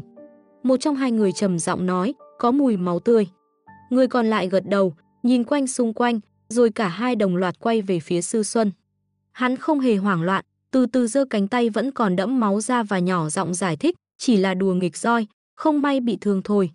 Hắn không cần phải giả vờ chấn tĩnh, vì thực sự không có lý do gì để lo lắng quá mức. Thấy Sư Xuân bị thương, hai tên giám sát dường như thở phào nhẹ nhõm, nhưng không khỏi ngạc nhiên. Sư Xuân không để họ kịp hỏi thêm gì, hắn nhanh chóng đổi chủ đề, các ngươi đang làm gì ở đây? Một tên giám sát giải thích, chúng ta nghĩ là có thể đẩy nhanh việc đào bới. Chỉ còn lại một lượng đất nhỏ, nên muốn thương lượng với thân tiên sinh về việc không cần chuyển hết ra ngoài, có thể đổ bỏ chỗ khác ngay trong hầm để tiết kiệm công sức. Sư Xuân gật đầu tán thành, ý kiến hay, rồi vung tay như muốn ra hiệu cho họ tiếp tục công việc. Hai tên giám sát không nói gì thêm, vội bước nhanh rời đi. Sư Xuân quay đầu nhìn sâu vào trong mỏ, thầm nghĩ, không thấy thợ mỏ gánh đất trở ra, chắc hẳn có điều gì đó xảy ra. Ngay sau đó, Ngô Cân Lượng xuất hiện từ ngã ba và nhanh chóng bước tới bên cạnh Sư Xuân, nhỏ giọng hỏi, chôn xong rồi, không có vấn đề gì chứ. Sư Xuân đáp, đều tại ngươi lắm lời, cứ đòi nói nhỏ không xong, không thì đã chẳng có phiền toái này. Hắn chỉ vào chiếc gánh bên cạnh như ra hiệu cho Ngô Cân Lượng mau rời đi. Ngô Cân Lượng không hài lòng lắm, tại sao lúc nào cũng ta phải khuân vác, cũng nên thay phiên chứ. Sư Xuân vừa đi vừa đáp, trong số giám sát có ai cao như ngươi không? Ngươi muốn bị nhận ra sao? Câu nói này khiến Ngô Cân Lượng không còn lời nào để đáp lại. Sự thật là chiều cao của hắn quá nổi bật, khiến hắn khó có thể trà trộn mà không bị nghi ngờ. Thật ra, trong nhóm thợ mỏ cũng đã có người từng nghi ngờ về chiều cao của Ngô Cân Lượng. Dù họ không phải mù, họ cũng không thể không thắc mắc tại sao lại có một người giám sát cao lớn như thế xuất hiện trong nhóm thợ mỏ. Nhưng sự hiện diện của Sư Xuân trong vai giám sát đã khiến những nghi ngờ tan biến. Đối mặt với những nghi vấn từ giám sát, cách xử lý của họ cũng rất đơn giản. Nếu không thể đối phó bằng lời nói, thì họ sẽ dùng hành động, giải quyết nhanh gọn những kẻ gây phiền toái. Trên thực tế, cả hai người bọn họ chỉ chạy loanh quanh trong hầm mỏ, khám phá mọi ngõ ngách, thậm chí còn hành động khá tự tin và liều lĩnh. Dù chuẩn bị kỹ lưỡng, họ luôn tâm niệm rằng nếu đối phó được thì cứ tiếp tục, còn nếu không được, họ sẽ nhanh chóng rút lui. Đi phía sau Sư Xuân, Ngô Cân Lượng thở dài, lại xử lý thêm một tên nữa. Nếu cứ tiếp tục thế này, số người sẽ càng ngày càng ít, không sớm thì muộn cũng bị phát hiện. Sư Xuân lập tức quay đầu lại, chất vấn, ngươi có thể ngậm miệng lại được không? Đây là chỗ để bàn chuyện trời đất sao? Vừa nãy chúng ta suýt gặp rắc rối rồi. Lời vừa dứt, hắn quay lại nhìn phía trước và thấy một bóng người đang chạy nhanh về phía họ, suýt nữa thì đụng phải hai người. Đó là một tên giám sát đeo mặt nạ, hắn vội tránh sang một bên để không đụng chúng bọn họ và tiếp tục chạy. Sư Xuân cảm thấy hành động này có gì đó không bình thường, hắn liền đưa tay ngăn đường và hỏi, ngươi đang vội vã đi đâu thế? Tên giám sát trả lời vội vã, đào được đồ vật, ta đến báo với thân tiên sinh. Nói xong, hắn đẩy tay Sư Xuân ra và chạy đi. Đào được đồ vật, Sư Xuân lẩm bẩm, rồi quay sang nhìn Ngô Cân Lượng. Cả hai đều cảm thấy bất ngờ. Đồ vật không phải đã được đào từ lâu rồi sao? Chẳng phải chỉ là bộ xương lớn đó thôi sao? Có gì đáng ngạc nhiên chứ? Ngô Cân Lượng nói. Cả hai cùng nhận ra rằng có lẽ đã phát hiện được thứ gì mới. Đã tới đây rồi, họ quyết định không bỏ qua cơ hội này. Cả hai lách mình, nhanh chóng đuổi theo hướng tên giám sát vừa đi, tiến thẳng về phía cuối hầm mỏ. Các bạn đang nghe chuyện Sơn Hải đề đăng của tác giả Dược Thiên Sầu tại Thư viện Sách Nói miễn phí, chuyện đọc việt.top. Chương 5, việc này không nên chậm trễ. Cuối lối đi của mỏ quặng, con đường đã được đào thành hình chữ T để lộ ra một phần của bộ xương khổng lồ. Sau khi phát hiện ra phần thân giữa của khung xương, người ta bắt đầu đào mở về phía hai bên, theo chiều dài của bộ xương. Đuôi của khung xương đã được khai quật hoàn toàn, và hiện tại, họ đang tập trung khai quật phần đầu của nó. Dựa vào kích thước khung xương, với tốc độ hiện tại, họ dự đoán rằng sẽ mất thêm nửa ngày để hoàn thành công việc khai quật. Hiện tại, quá trình khai quật đã tạm ngưng. Một nhóm người đứng xung quanh và thảo luận, âm thanh của họ vọng lại rõ ràng ngay cả khi Sư Xuân và Ngô Cân Lượng còn đứng xa. Cả hai nhanh chóng băng qua giữa phần khung xương và tiến đến gần hơn để quan sát. Khung xương rất lớn và dài, nhìn giống như loài rắn khổng lồ, không có dấu hiệu của móng vuốt. Chỉ riêng chiều dài đã lộ ra cũng gần 30 trượng và khung xương có màu sắc kỳ lạ, nửa đen, nửa thấu suốt, tựa như ngọc đen. Còn phát sáng nữa, đây là thứ gì thế nhỉ? Có lẽ mục tiêu chính của việc khai quật không phải bộ xương này, mà là thứ phát sáng kia. Thứ này chắc hẳn rất có giá trị, hai người Sư Xuân và Ngô Cân Lượng chen vào phía sau đám đông. Họ nghe thấy những cuộc trò chuyện tò mò, có người thì thầm, có kẻ đứng trên khung xương để nhìn rõ hơn. Cả khu vực trở nên chật trội khi mọi người tập trung lại. Sư Xuân cố gắng chen qua, vừa đi vừa thúc giục, nhường đường một chút, nhường một chút. Một số người nhường chỗ, trong khi có những kẻ tỏ ra lơ đễnh hoặc không có ý định nhường, chỉ nhìn chằm chằm vào Sư Xuân với vẻ mặt bướng bỉnh, không hiểu tại sao hắn lại cần được ưu tiên. Trước tình cảnh này, Sư Xuân không kiên nhẫn, liền vung roi, đánh vài người, khiến cả đám la oai oái và tránh ra. Một số người tức giận, hét lên hỏi tại sao họ bị đánh, nhưng Sư Xuân chẳng thèm trả lời, chỉ muốn nhanh chóng tiến đến để xem điều gì đang xảy ra phía trước. Phải công nhận, trong một số trường hợp, bạo lực có tác dụng hơn nhiều so với lời nói. Ít nhất, nó đã khiến mọi người mau chóng nhường đường, dù là miễn cưỡng. Ngô Cân Lượng đi phía sau, lòng thầm run rẩy, mồ hôi lấm tấm trên trán. Hắn cảm thấy cách làm của Sư Xuân quá lộ liễu, khác hẳn phong cách lén lút của một tên trộm. Cuối cùng, hai người cũng chen đến được gần khu vực trung tâm. Từ vị trí cao, Ngô Cân Lượng có thể nhìn thấy rõ hơn và khi hắn nhìn xuống, mắt hắn trừng lớn trong kinh ngạc. Sư Xuân nhanh chóng chen lên phía trước, đứng gần các giám sát viên. Hắn cũng ngay lập tức bị thu hút bởi cảnh tượng trước mắt. Một bộ khung xương nữa vừa được phát hiện, nằm chồng lên khung xương của loài rắn khổng lồ trước đó. Bộ xương mới này vẫn còn nửa chôn trong đất, nhưng đã lộ ra một cái đầu lớn, trông như đầu của một con rắn. Điều đáng chú ý là trên đầu rắn này, ngoài hai hốc mắt, còn có một hốc ở mi tâm, có vẻ như là nơi có một con mắt thứ ba. Điều này đã thu hút sự chú ý của tất cả mọi người, bởi bên trong hốc mắt thứ ba ấy, một luồng sáng tím lung linh như tinh vân, phát ra ánh sáng ma mị. Tinh vân tím ấy không ngừng thay đổi hình dạng, thỉnh thoảng giống như những đám mây trôi, lúc thì như hàng ngàn con mắt nhỏ đang nhìn chằm chằm, và có khi lại trông như vô số cánh bướm mỏng manh đang bay lượn.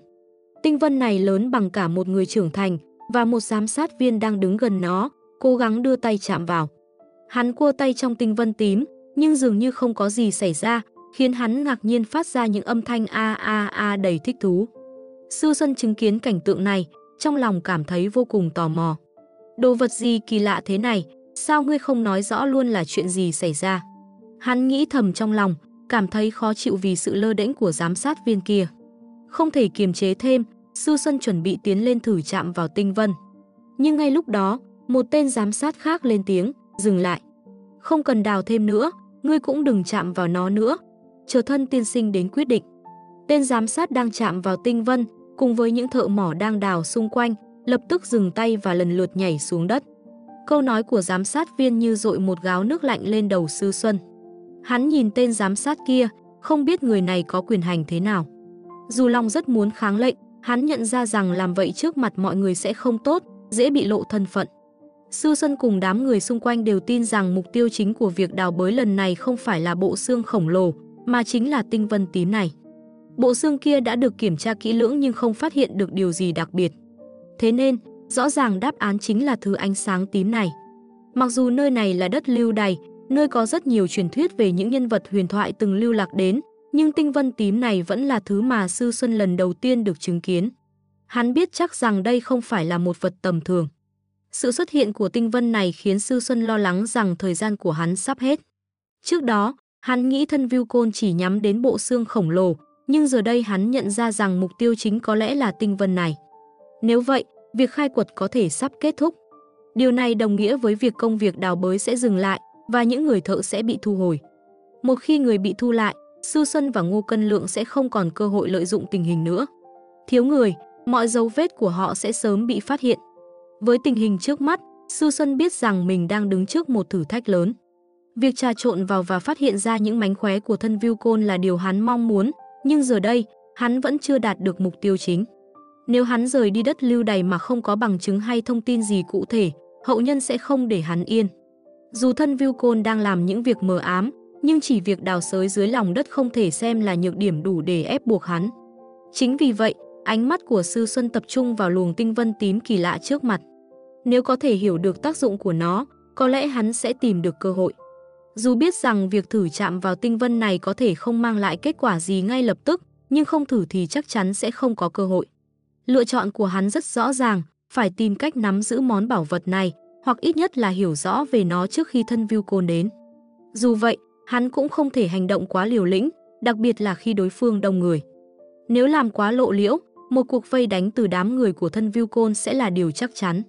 Hắn suy nghĩ nhanh, cân nhắc rằng có lẽ vẫn có thể tận dụng tình thế từ những thi thể giám sát mà hắn đã hạ gục trước đó để tạo ra một sự kích động, lôi kéo sự phản ứng của đám người khác, nhưng điều này cũng khá nguy hiểm. Trong khi đầu óc hắn đang xoay chuyển với đủ loại phương án, Sư Xuân quyết định nhanh chóng, trước tiên, hãy tiếp xúc với Tinh Vân trước khi thân Viu Côn tới, không thể chậm trễ thêm nữa. Hắn biết rõ rằng thân Viu Côn sẽ sớm xuất hiện và thời gian của hắn không còn nhiều. Sư Xuân đột ngột lên tiếng lớn, thân tiên sinh sẽ tới ngay lập tức. Thân tiên sinh có lệnh, chỉ cần hai người ở lại trông coi, còn lại tất cả hãy lập tức lui về phía ngã rẽ để chờ đợi. Vừa nói, hắn vừa vung roi lên, đi tới trước mặt đám người và quay lại đối diện với họ. Ánh mắt hắn lạnh lùng, đầy quyền lực và hành động vung roi dứt khoát khiến mọi người hiểu rằng không nên chống đối. Một số người có vẻ khó chịu, nhưng khi nhìn thấy vết thương trên cánh tay của Sư Xuân, họ nhận ra đây là kẻ từng ra tay không ngần ngại. Dù bực tức, nhiều người vẫn bắt đầu rút lui một cách miễn cưỡng. Ngô Cân Lượng cảm thấy lo lắng trong lòng khi chứng kiến Sư Xuân hành động liều lĩnh như vậy. Hắn lại bắt đầu nữa rồi, Ngô Cân Lượng thầm nghĩ, không biết lần này mọi chuyện sẽ đi về đâu.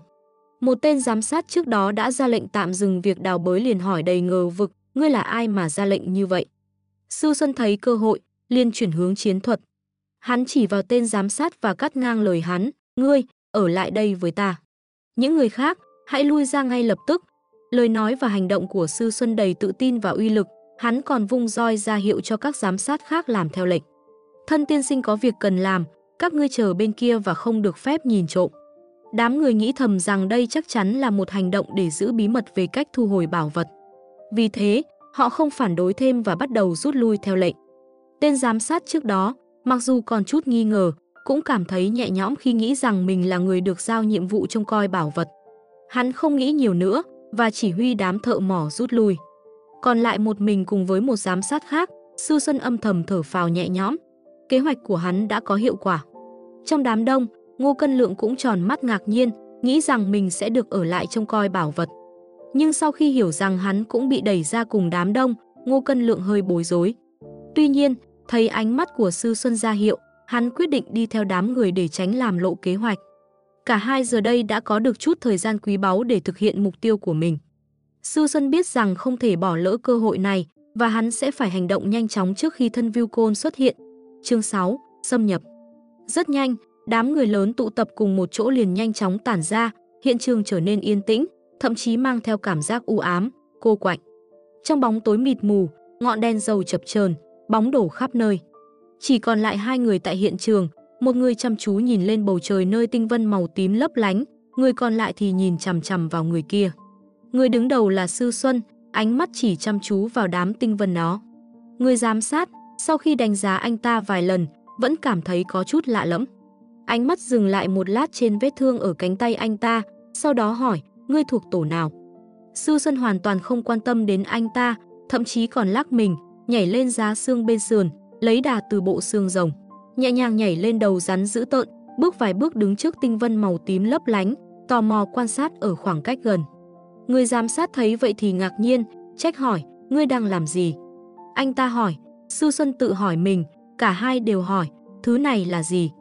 Người giám sát đáp, ta làm sao biết được, chỉ có thân tiên sinh mới có thể hiểu rõ. Thời gian không còn nhiều, Sư Xuân không dám chần chừ, liền đưa tay ra thử chạm vào tinh vân lấp lánh màu tím. Người giám sát thấy vậy, ngừng lại, nghiêm giọng nói, ngươi đang làm gì? Chẳng phải ngươi đã nói sẽ chờ thân tiên sinh đến sao? Sư Xuân quay đầu nhìn xuống dưới và nói một cách bối rối, ngươi nghĩ rằng khi thân tiên sinh đến, chúng ta sẽ được biết thứ này là gì sao? Ngươi không tò mò về nó à? Người giám sát có chút ngạc nhiên, rồi cũng nhảy lên giá xương, nhìn chằm chằm vào Sư Xuân, thỉnh thoảng lại liếc nhìn tinh vân màu tím lấp lánh. Sư Xuân nhìn ánh mắt của anh ta vài lần, thấy anh ta không nói gì, lúc này liền không do dự nữa, chậm rãi đưa tay sờ vào tinh vân lấp lánh màu tím. Ánh mắt của người giám sát càng thêm căng thẳng, thỉnh thoảng liếc nhìn phía sau lối đi, dường như còn lo lắng thân Viu Côn đột nhiên xuất hiện hơn cả Sư Xuân. Tay của Sư Xuân lần lượt dò dẫm trong tinh vân, không nhịn được phát ra một tiếng A. Cuối cùng anh cũng hiểu tại sao trước đó người giám sát khi chạm vào cũng phát ra âm thanh A đầy ngạc nhiên vì không có cảm giác gì. Tay dường như đã chạm vào tinh vân lấp lánh màu tím, nhưng lại không có bất kỳ cảm giác nào, như thể tinh vân chỉ là ảo giác hư vô, không có động tĩnh gì khi bị can thiệp. Sư Xuân thổi mạnh vài hơi, nhưng vẫn vô ích. Người giám sát đứng trên bộ xương quan sát, quay đầu nhìn lại phía lối đi, chắc chắn không có ai. Rồi cũng bước lên gần tinh vân lấp lánh màu tím, đưa tay ra chạm vào, cùng với Sư Xuân một trái một phải cùng can thiệp vào tinh vân. Trước đó, sự lo lắng về hành động của Sư Xuân đã biến mất, ít nhất là tạm thời. Có lẽ anh ta cũng không ngờ rằng mình lại nhanh chóng đồng lõa với người khác làm chuyện này, mà người kia thậm chí còn không cố khuyên anh. Cả hai đều có cảm giác đang lợi dụng tình hình. Không cảm nhận được gì, Sư Xuân tiếp tục dò xét, tay còn lại cũng bận rộn sờ vào hư không quanh tinh vân, cố tìm hiểu lực lượng từ tinh vân này phát ra. Bỗng nhiên, cả hai đồng thời phát ra âm thanh A, bởi vì họ cảm thấy tinh vân màu tím lấp lánh rung chuyển một thoáng, như thể bị tác động. Người giám sát vẫn chưa hiểu điều gì đang xảy ra.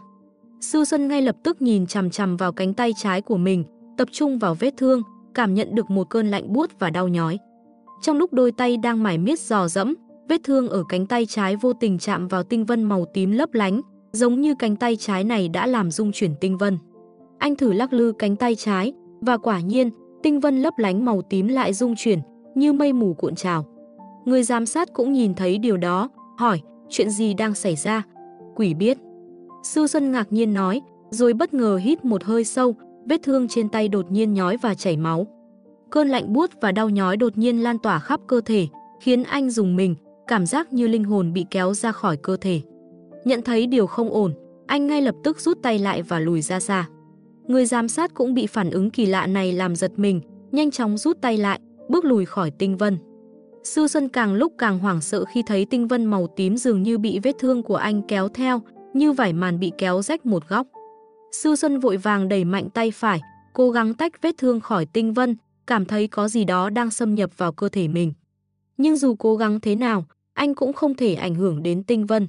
Anh lập tức vận công thi pháp, nhưng vẫn không thể cắt đứt mối liên hệ với tinh vân, nỗi sợ hãi bắt đầu tràn ngập trong lòng anh. Đột nhiên, tinh vân dường như sống lại nhờ máu tươi, tỏa sáng rực rỡ, lan ra toàn bộ tinh vân, từ vết thương trên cánh tay trái của Sư Xuân. Tinh vân dần trở nên lấp lánh và đầy sức sống. Điều kinh khủng nhất là, cơ thể Sư Xuân dường như trở thành một cái phễu, hút toàn bộ tinh vân vào qua vết thương. Ưm, Sư Xuân ngửa đầu, phát ra tiếng rên đau đớn. Mặc dù mang mặt nạ, người giám sát vẫn có thể cảm nhận được nỗi đau của Sư Xuân, anh ta lo lắng đến mức nhảy xuống từ bộ xương, tránh xa Sư Xuân, mắt tràn đầy nghi ngờ. Tinh vân tím lấp lánh nhanh chóng chui hết vào cơ thể Sư Xuân.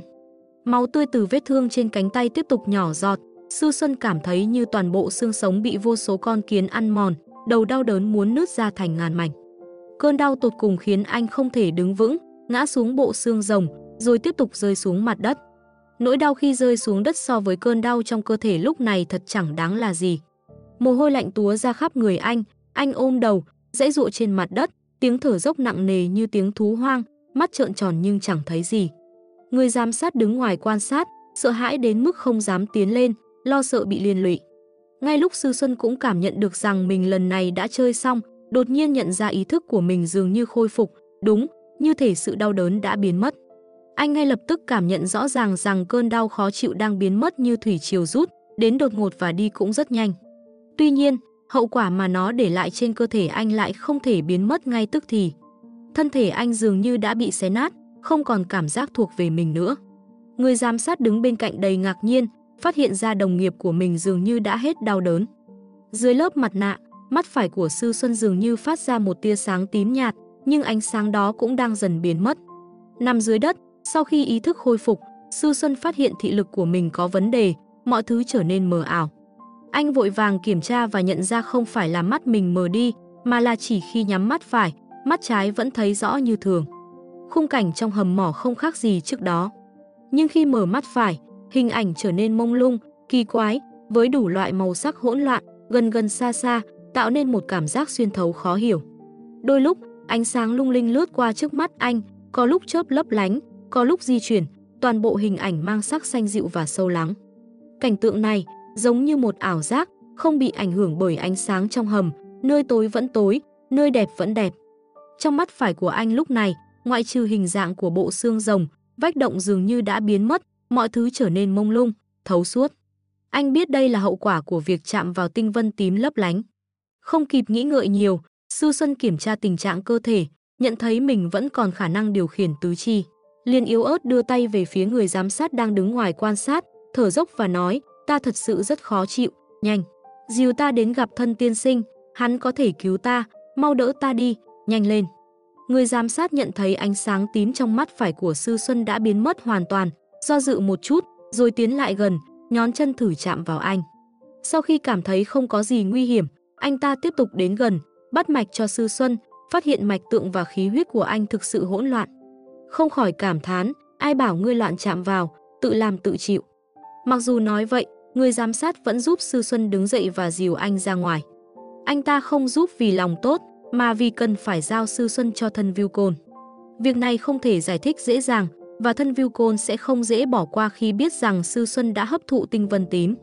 Dù là cứu hay giết, thân Viu Côn cũng sẽ không để yên. Chưa đi được mấy bước, khi người giám sát đang suy nghĩ, đột nhiên anh ta cảm thấy một cơn đau dữ dội và bật ra một tiếng ngô. Giữa hai người đột nhiên có máu văng ra. Người giám sát ôm chặt cổ, lùi lại, tựa vào vách động, mắt mở to nhìn Sư Xuân, máu tươi chảy ra từ vết cắt sâu trên cổ. Anh ta run rẩy kịch liệt, dựa vào vách động, tiếng thở dốc rít qua kẽ răng và dần dần trượt xuống. Sư Xuân với con dao còn đang vung, do dùng sức quá mạnh, không thể kiểm soát thân thể, loạn choạng xoay vài vòng, đâm vào bộ xương rồng rồi ngã xuống đất. Sau khi thở dốc một hồi, dù cơ thể rất khó chịu, dù thị giác còn bị lẫn lộn bởi những hình ảnh kỳ lạ, Sư Xuân vẫn gắng gượng bò dậy, lảo đảo bước nhanh về phía lối ra, không dám chậm trễ một giây nào. Chậm trễ lúc này có thể khiến anh không thể thoát khỏi tay thân Viu Côn. Năm xưa, anh đã muốn thân Viu Côn sống không bằng chết, nhưng không thể thực hiện được.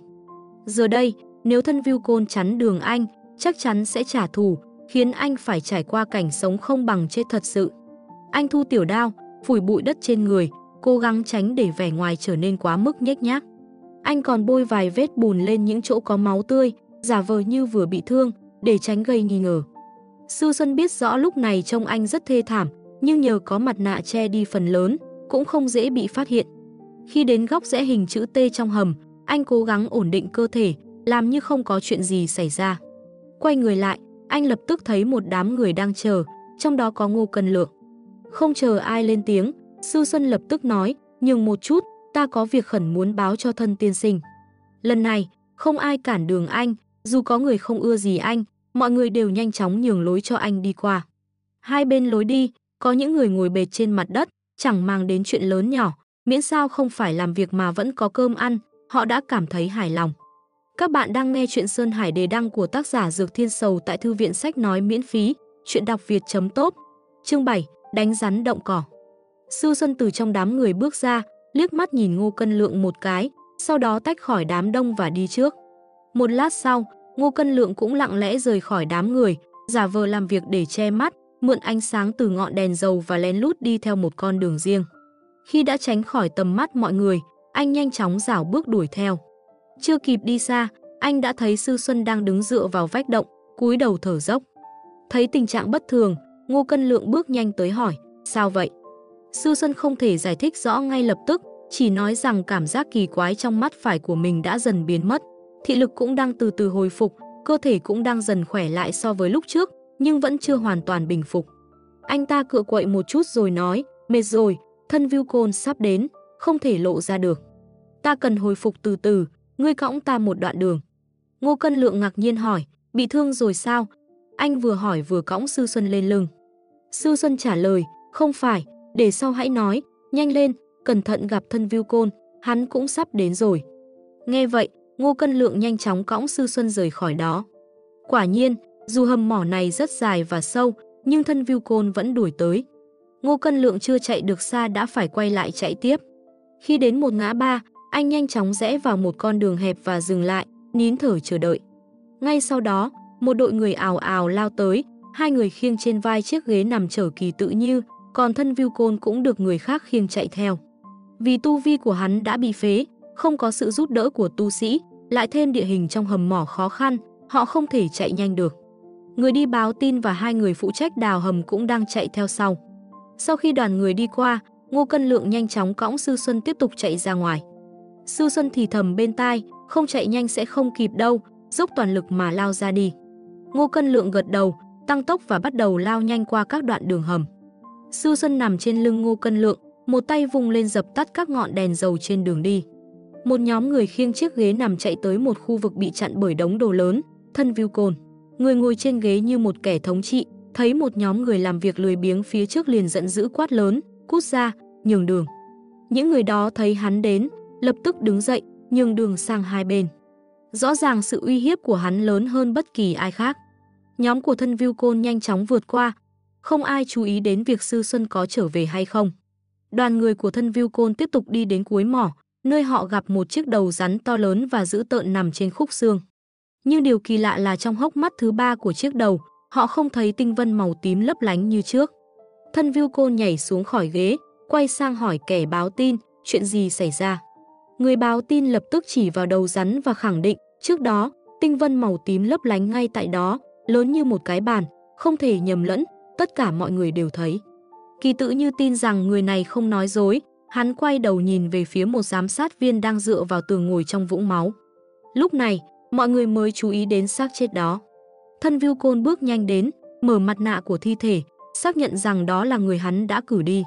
Hắn quay lại nhìn nhóm của mình, rồi nhận ra rằng không có ai trong số những người mà họ đã gặp trước đó theo kịp, hắn liền nổi giận, người đâu?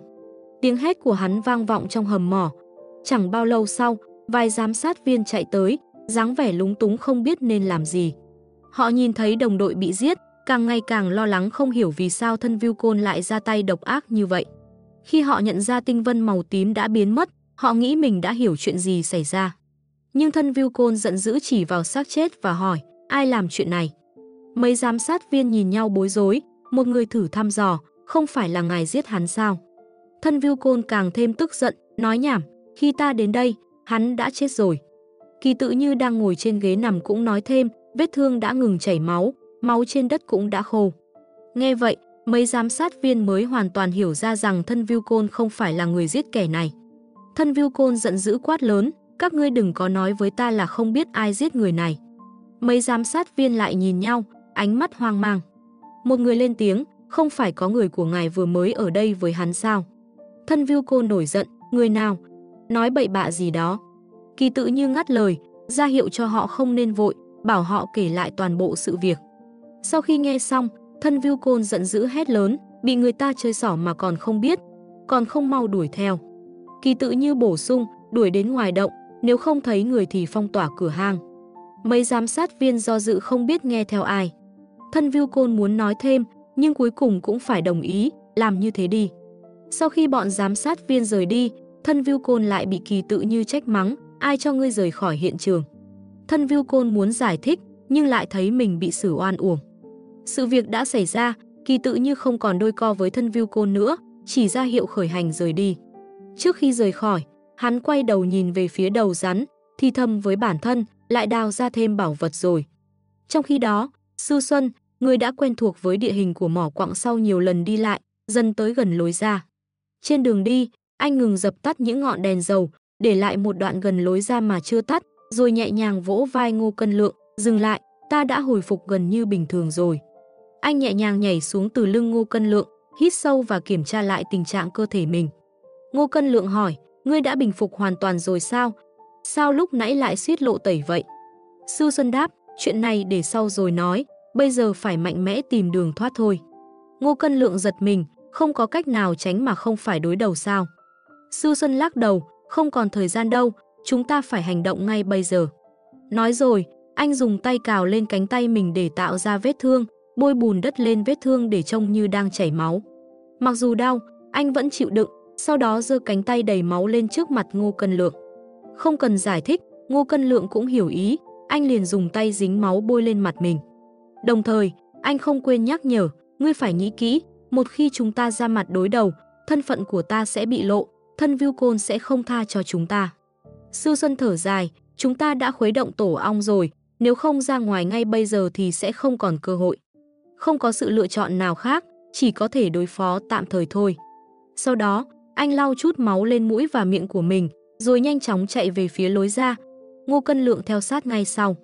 Khi họ đã thấy ánh sáng từ ngoài động, tới gần cửa hang, Sư Xuân ra hiệu cho Ngô Cân Lượng ngồi xuống bên vách động, giả vờ như bị trọng thương và ngã xuống. Còn Sư Xuân thì chạy vội ra ngoài với dáng vẻ như đang bị thương nặng. Hai tên thủ vệ bên ngoài động thấy vậy liền giật mình. Một người nhanh chóng đỡ lấy Sư Xuân, còn người kia hỏi vội, chuyện gì đã xảy ra. Sư Xuân khàn giọng thi pháp, hét lớn, mau, mau tập hợp người, thân tiên sinh gặp nạn, nhanh chóng đi cứu thân tiên sinh. Tiếng hét vang vọng khắp khu vực. Vừa nghe thấy, những bóng người ẩn náu trên đỉnh núi lập tức chú ý tới. Thủ vệ tiếp tục hỏi, rốt cuộc đã xảy ra chuyện gì? Sư Xuân nhìn quanh một lượt, rồi thi pháp lần nữa, hét lên trong nỗi đau buồn, trong hầm mỏ phát hiện rất nhiều bảo vật quý giá, nhưng những tên thợ mỏ đã nổi lòng tham và phản bội. Tình hình rất nguy cấp, thân tiên sinh đang gặp nguy hiểm, nếu không cứu ngay thì đã quá muộn. Nhanh lên, đi cứu thân tiên sinh. Hai tên thủ vệ nghe tới bảo vật đều sững sờ, quay đầu nhìn vào phía trong động. Cùng lúc đó, từ các đỉnh núi, nhiều bóng người nhảy xuống, số lượng ngày càng tăng, họ liên tục bay về phía hầm mỏ. Sư Xuân đẩy thủ vệ đang đỡ mình, nói, đừng lo cho ta, mau đi cứu tiên sinh. Thủ vệ còn do dự, nhưng rồi cũng thấy đồng đội đã vào động, nên nhanh chóng đi theo. Những người từ đỉnh núi tới sau không ai chú ý đến Sư Xuân đang nằm trên mặt đất, họ chỉ thấy thủ vệ đã tiến vào, nên lập tức đổ xô vào trong động mà không mảy may nghi ngờ gì. Khi xung quanh không còn ai, Sư Xuân liền hô lớn vào trong động, cân lượng, ngươi còn sống không? Ngay lập tức, Ngô Cân Lượng từ trong động xuất hiện, lao tới gần cửa hang và ngã xuống đất giả vờ như đã chết, hỏi nhanh, bên ngoài tình hình thế nào? Sư Xuân liền đứng bật dậy, ra hiệu, đi thôi. Ngô Cân Lượng lập tức sống lại, nhanh chóng phóng ra khỏi động, bám sát Sư Xuân mà chạy theo. Sư Xuân không biết liệu tất cả những người ẩn náu xung quanh đã đi hết chưa, nhưng anh vẫn hướng về phía mà lúc nãy nhiều người đã chạy ra. Trong hầm mỏ, hành động của Sư Xuân khi dập tắt các ngọn đèn dầu khiến việc truy đuổi của nhóm người phía sau trở nên khó khăn hơn. Họ phải mò mẫm trong bóng tối, hoàn toàn không thấy gì. Đến lúc này, họ mới nhận ra rằng ánh sáng đã tắt quá lâu và dù có tu vi cao đến đâu, trong bóng tối như thế này thị lực cũng vô dụng. Khi họ buộc phải thắp lại đèn dầu và tiếp tục truy đuổi, sự chậm trễ đã gây ra nhiều khó khăn và cuối cùng thân Viu Côn cùng kỳ tự như cũng đuổi kịp họ. Những người bên ngoài động lao vào để cứu tiên sinh cũng gặp tình trạng tương tự. Ban đầu, đèn dầu vẫn còn sáng, không có vấn đề gì, nhưng khi tiến sâu vào trong động, họ phát hiện ra rằng phía trước đã hoàn toàn chìm trong bóng tối, khiến họ phải mò mẫm đốt lại ngọn đèn dầu. Khi hai nhóm người, một nhóm mang đuốc và một nhóm khác từ bên ngoài, gặp nhau trong sự hỗn loạn, họ bắt đầu lo lắng và nghĩ rằng có lẽ những kẻ phản loạn đã giết chết người của mình. Chương 8, chạy không thoát. Bất kể là đến đây để giải quyết tình hình thật lòng hay không, ít nhất họ đã đến để dẹp loạn. Khi thấy trong động một nhóm người lao ra, họ liền lập tức rút vũ khí. Những người từ trong động lao ra, khi thấy những kẻ từ bên ngoài đến rút vũ khí đối phó, một số người cũng lập tức thủ thế phòng ngự. Những thợ mỏ trông rõ ràng rất căng thẳng, không hiểu tình huống đang diễn ra như thế nào. Một tiếng hét vang lên từ ngoài động, buông vũ khí xuống. Những kẻ mới đến cũng rối rít phụ họa, tạo áp lực bằng lời nói. Từ trong động, có người lớn tiếng hỏi, các ngươi muốn làm gì? Từ đám đông, thân Viu Côn bước ra, chỉ tay về phía những kẻ vừa lao đến và quát, các ngươi muốn làm gì? Có phải chán sống rồi không? Dù tu vi của hắn đã mất, nhưng khi đối diện với ánh sáng lấp lánh của đao kiếm, sự ngang ngạnh của hắn không hề suy giảm. Rõ ràng, hắn không coi đám thợ mỏ này ra gì, bởi hắn đã quen coi thường họ. Tuy nhiên, nếu gặp phải đại đương gia đông cửu, hắn sẽ phải cẩn thận hơn. Nhìn thấy thân Viu Côn, những kẻ vừa đến từ ngoài động lập tức hạ vũ khí xuống. Người dẫn đầu trong nhóm nói với vẻ ngạc nhiên, thân tiên sinh, ngài không sao chứ. Thân Viu Côn giận dữ mắng, ta có thể có chuyện gì được sao? Các ngươi không ở ngoài canh gác mà chạy vào đây làm gì? Hắn vốn hy vọng rằng đám người này sẽ chặn những kẻ đang cố trốn thoát. Hai bên đối đáp qua lại, tình hình có thể hiểu được. Thân Viu Côn tức đến nổ phổi, miệng không ngừng mắng, một đám ngu xuẩn. Sau khi xác nhận rằng không có ai gặp nguy hiểm, kỳ tự như cũng được đưa lên trước. Hắn cất giọng trầm tĩnh, dẹp tan sự hấp tấp của thân Viu Côn, người lao ra ngoài chỉ có một thôi sao. Hắn muốn xác nhận rõ ràng, nếu thực sự chỉ có một người mà dám đùa bỡn cả đám như vậy, thì người đó quả thực đáng nể. Đúng, chỉ có một người. Chúng ta chỉ thấy một người. Khoan đã, cách cửa vào không xa còn có một thợ mỏ nằm như thể bị trọng thương, nhưng có thể đó chỉ là giả vờ. À, đúng rồi, nếu như việc thợ mỏ phản bội là giả, thì thợ mỏ trọng thương kia cũng có thể là giả. Trong khi mọi người đáp lại, một thủ vệ đứng canh ở cửa hang cũng thêm vào, thợ mỏ kia là một người cao to nhất trong đám, rất dễ nhận ra. Ta đã thấy hắn qua lại nhiều lần. Nghe vậy, thân Viu Côn giật mình nói, cao to, hai người. Lúc này, hắn nhớ lại tình huống tại cửa hang khi suýt nữa va phải người cao to nhất. Đột nhiên, hắn tự tát mình một cái, càng lúc càng thở gấp, là bọn họ, cứu cứu, là. Kỳ tự như lập tức cắt ngang, nghiêm nghị nói, im miệng, trước tiên hãy phong tỏa cửa hang. Thân Viu Côn gấp gáp kêu lên, cứu cứu, ta biết là ai rồi, chính là. Kỳ tự như quát lớn, ta bảo ngươi im miệng.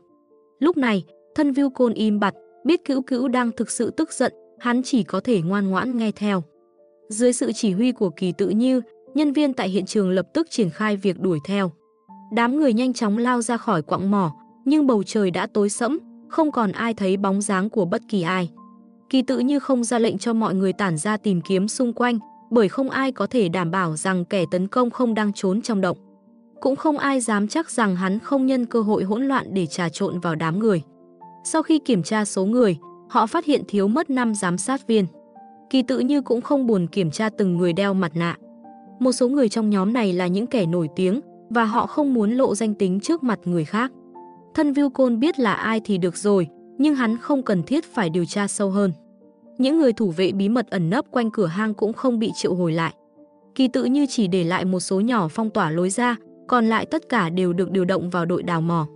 Hắn ra lệnh cho mọi người đào nhanh nhất có thể, móc hết phần còn lại của khung xương trong hầm mỏ. Hắn tiếp nhận đề nghị của hai giám sát viên, không cần đẩy đất đá ra ngoài mà chỉ cần đổ sang những đường hầm bên cạnh, miễn sao tốc độ đào được đẩy nhanh nhất. Sau khi sắp xếp mọi thứ xong xuôi, kỳ tự như mới mệt mỏi leo lên lại ghế nằm, ra hiệu không cần ai khiêng, rồi đi dạo trong thung lũng, chỉ có thân Viu Côn theo sau. Thân Viu Côn lúc này rõ ràng lo lắng nhìn xung quanh, biết được kẻ quấy phá là ai. Giờ đây hắn đã thoát khỏi vòng bảo vệ, khiến hắn cảm thấy lo sợ rằng kẻ tấn công có thể nhảy ra bất cứ lúc nào. Khi xung quanh không còn ai, Kỳ tự như dừng bước, liếc nhìn cháu trai, rồi hướng về chân trời u ám mà nói, đừng lo lắng, bọn chúng đã lấy được thứ cần, giờ chỉ lo mà trốn thoát. Nghe vậy, thân Viu Côn cảm thấy nhẹ nhõm, quay đầu nhìn lại cửa hang, suy tư về lời nói của cữu cữu. Nếu như kẻ tấn công đã chạy, tại sao lại phong tỏa cửa hang và nói rằng chúng có thể còn trong động? Kỳ tự như phá tan dòng suy nghĩ của hắn, có phải là đại đương ra tới đây không? Thân Viu Côn tỉnh táo lại và trả lời, đúng vậy, chính là Tư Xuân và Vô Cân Lượng đến đây. Nhờ có lời nhắc của thủ vệ, ta mới nhớ ra rằng Ngô Cân Lượng đã đối diện với ta tại cửa hang, lúc đó ta mải đi tìm ngài nên mới lơ là. Kỳ tự như chật lưỡi, thì ra là bọn họ. Chỉ có hai người mà dám trà trộn vào giữa đám đông, hành động trắng trợn như vậy. Ngay cả người cao to như thế cũng dám trà trộn vào, rõ ràng coi chúng ta chẳng là gì. Đây quả là dũng khí phi thường. Bọn chúng đã chơi đùa chúng ta một vố, đoạt bảo vật như lấy đồ trong túi, đúng là một kẻ tài giỏi. Không ngạc nhiên khi ngươi không tiếc vốn liếng mà muốn loại bỏ bọn chúng, không muốn đối đầu trực tiếp. Hóa ra ngươi đã sớm biết rõ tài cán của chúng, nhưng lại không chịu nói ra. Nếu ta biết từ trước rằng đó là những kẻ lợi hại như vậy, làm sao ta có thể để ngươi tự tiện xử lý? Thân Viu Côn cảm thấy có chút tủi thân, thầm nghĩ, ngay từ trong hầm mỏ, ta đã đoán được là bọn chúng, định nói cho ngài biết, nhưng ngài lại quát ta, không cho ta nói. Ngụ ý của hắn là, ngài thấy không, có những lúc ta muốn nói thì ngài lại không cho, lúc không muốn nói thì ngài lại trách ta không nói, thật khó mà biết phải làm gì cho đúng. Kỳ tự như vốn không muốn nổi giận vì sức khỏe yếu, nhưng lúc này cũng không thể kìm nén mà thay đổi sắc mặt, quát lên, đồ ngu, ngươi còn nói chưa đủ nhiều sao. Với những gì ngươi vừa nói, chỉ cần một kẻ thông minh nghe được là có thể đoán ra ngay ai là người đã cướp bảo vật. Thân viu côn ngậm miệng, cảm giác nghẹn ngào liên tục, cuối cùng nhận ra rằng chính mình đã thiếu suy nghĩ.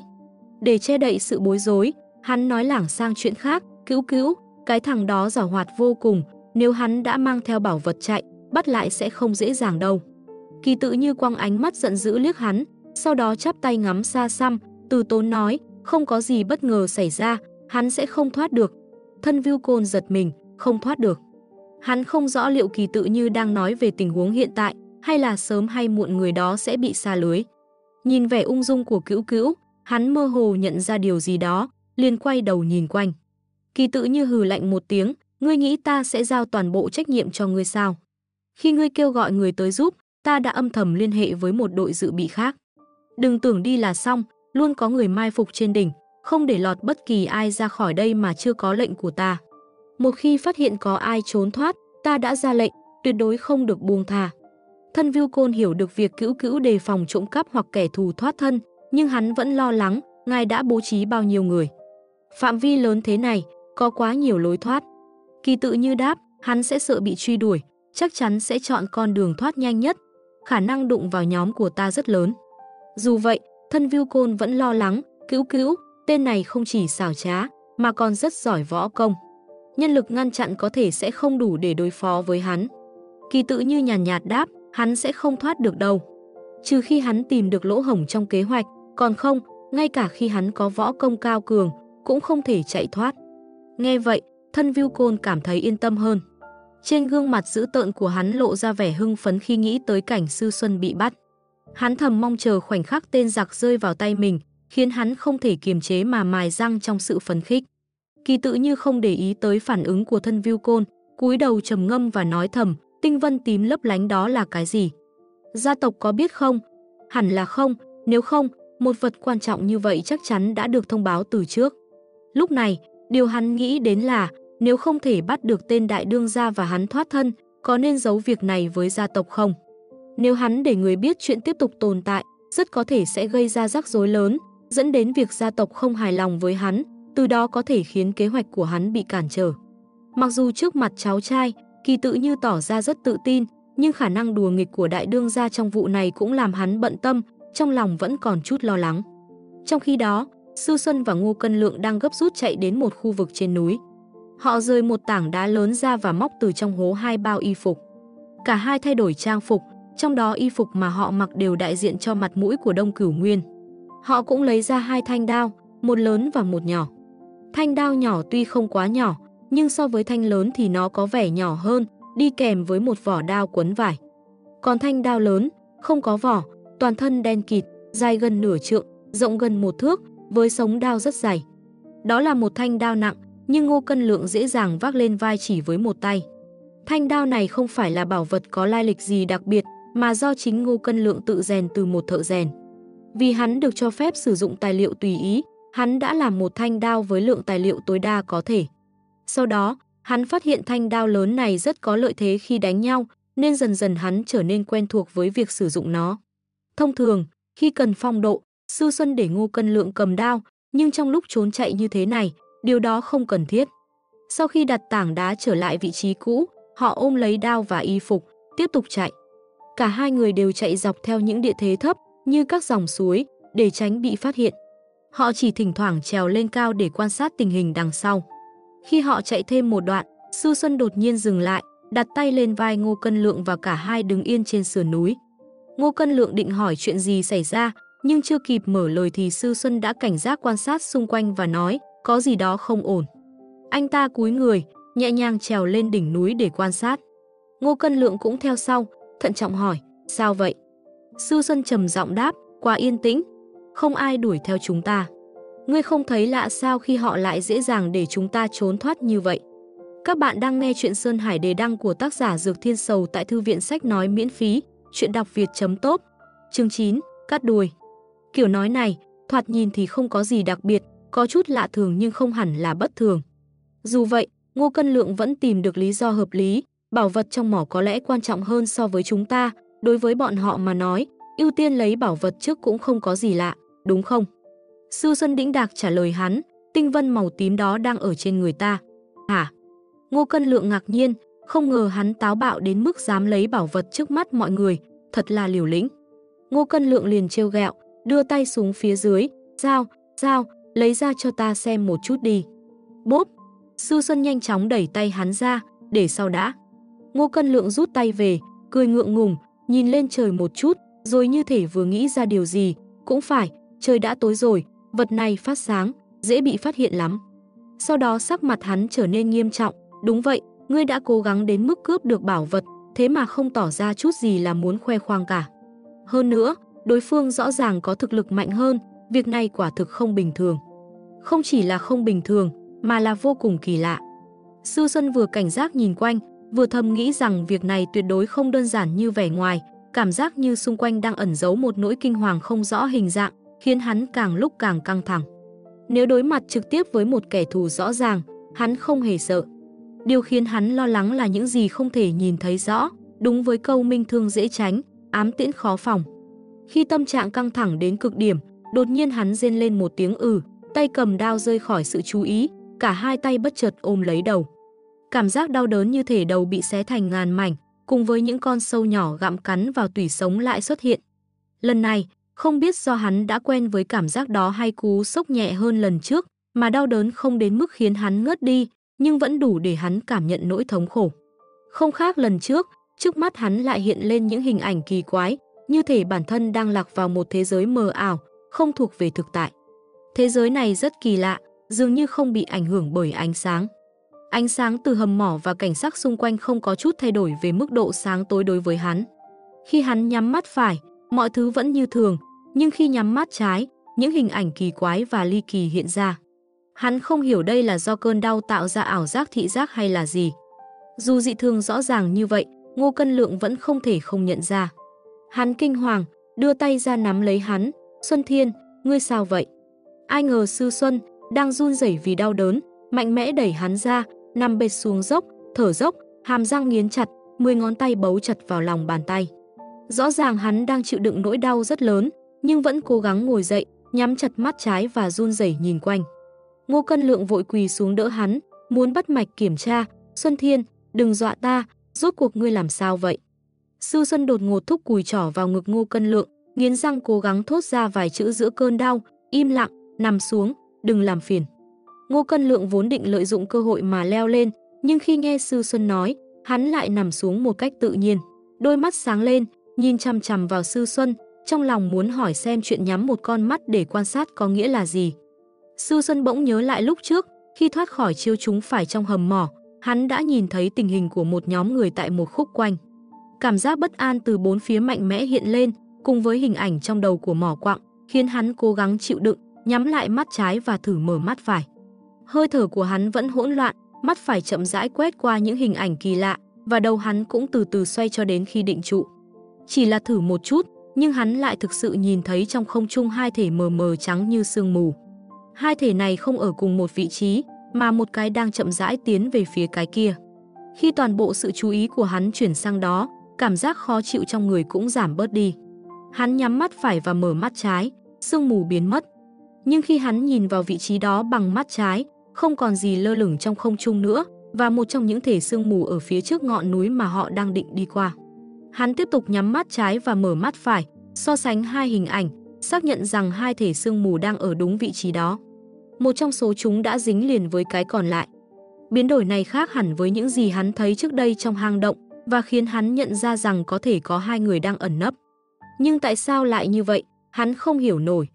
Bên kia, trên đỉnh núi, quả thật có hai người đang ẩn náu. Họ đeo khăn che mặt và cũng đã để ý đến Sư Xuân cùng Ngô Cân Lượng. May mắn là khu vực này không có cây cỏ, rất trơn nhẵn, nên nếu có ai di chuyển, họ dễ dàng phát hiện. Nếu họ ẩn nấp trong rừng núi, ngay cả những tu sĩ với thị lực sắc bén cũng khó lòng nhận ra. Tuy nhiên, trời đã tối, khoảng cách lại khá xa, không thể nhìn rõ được họ là ai.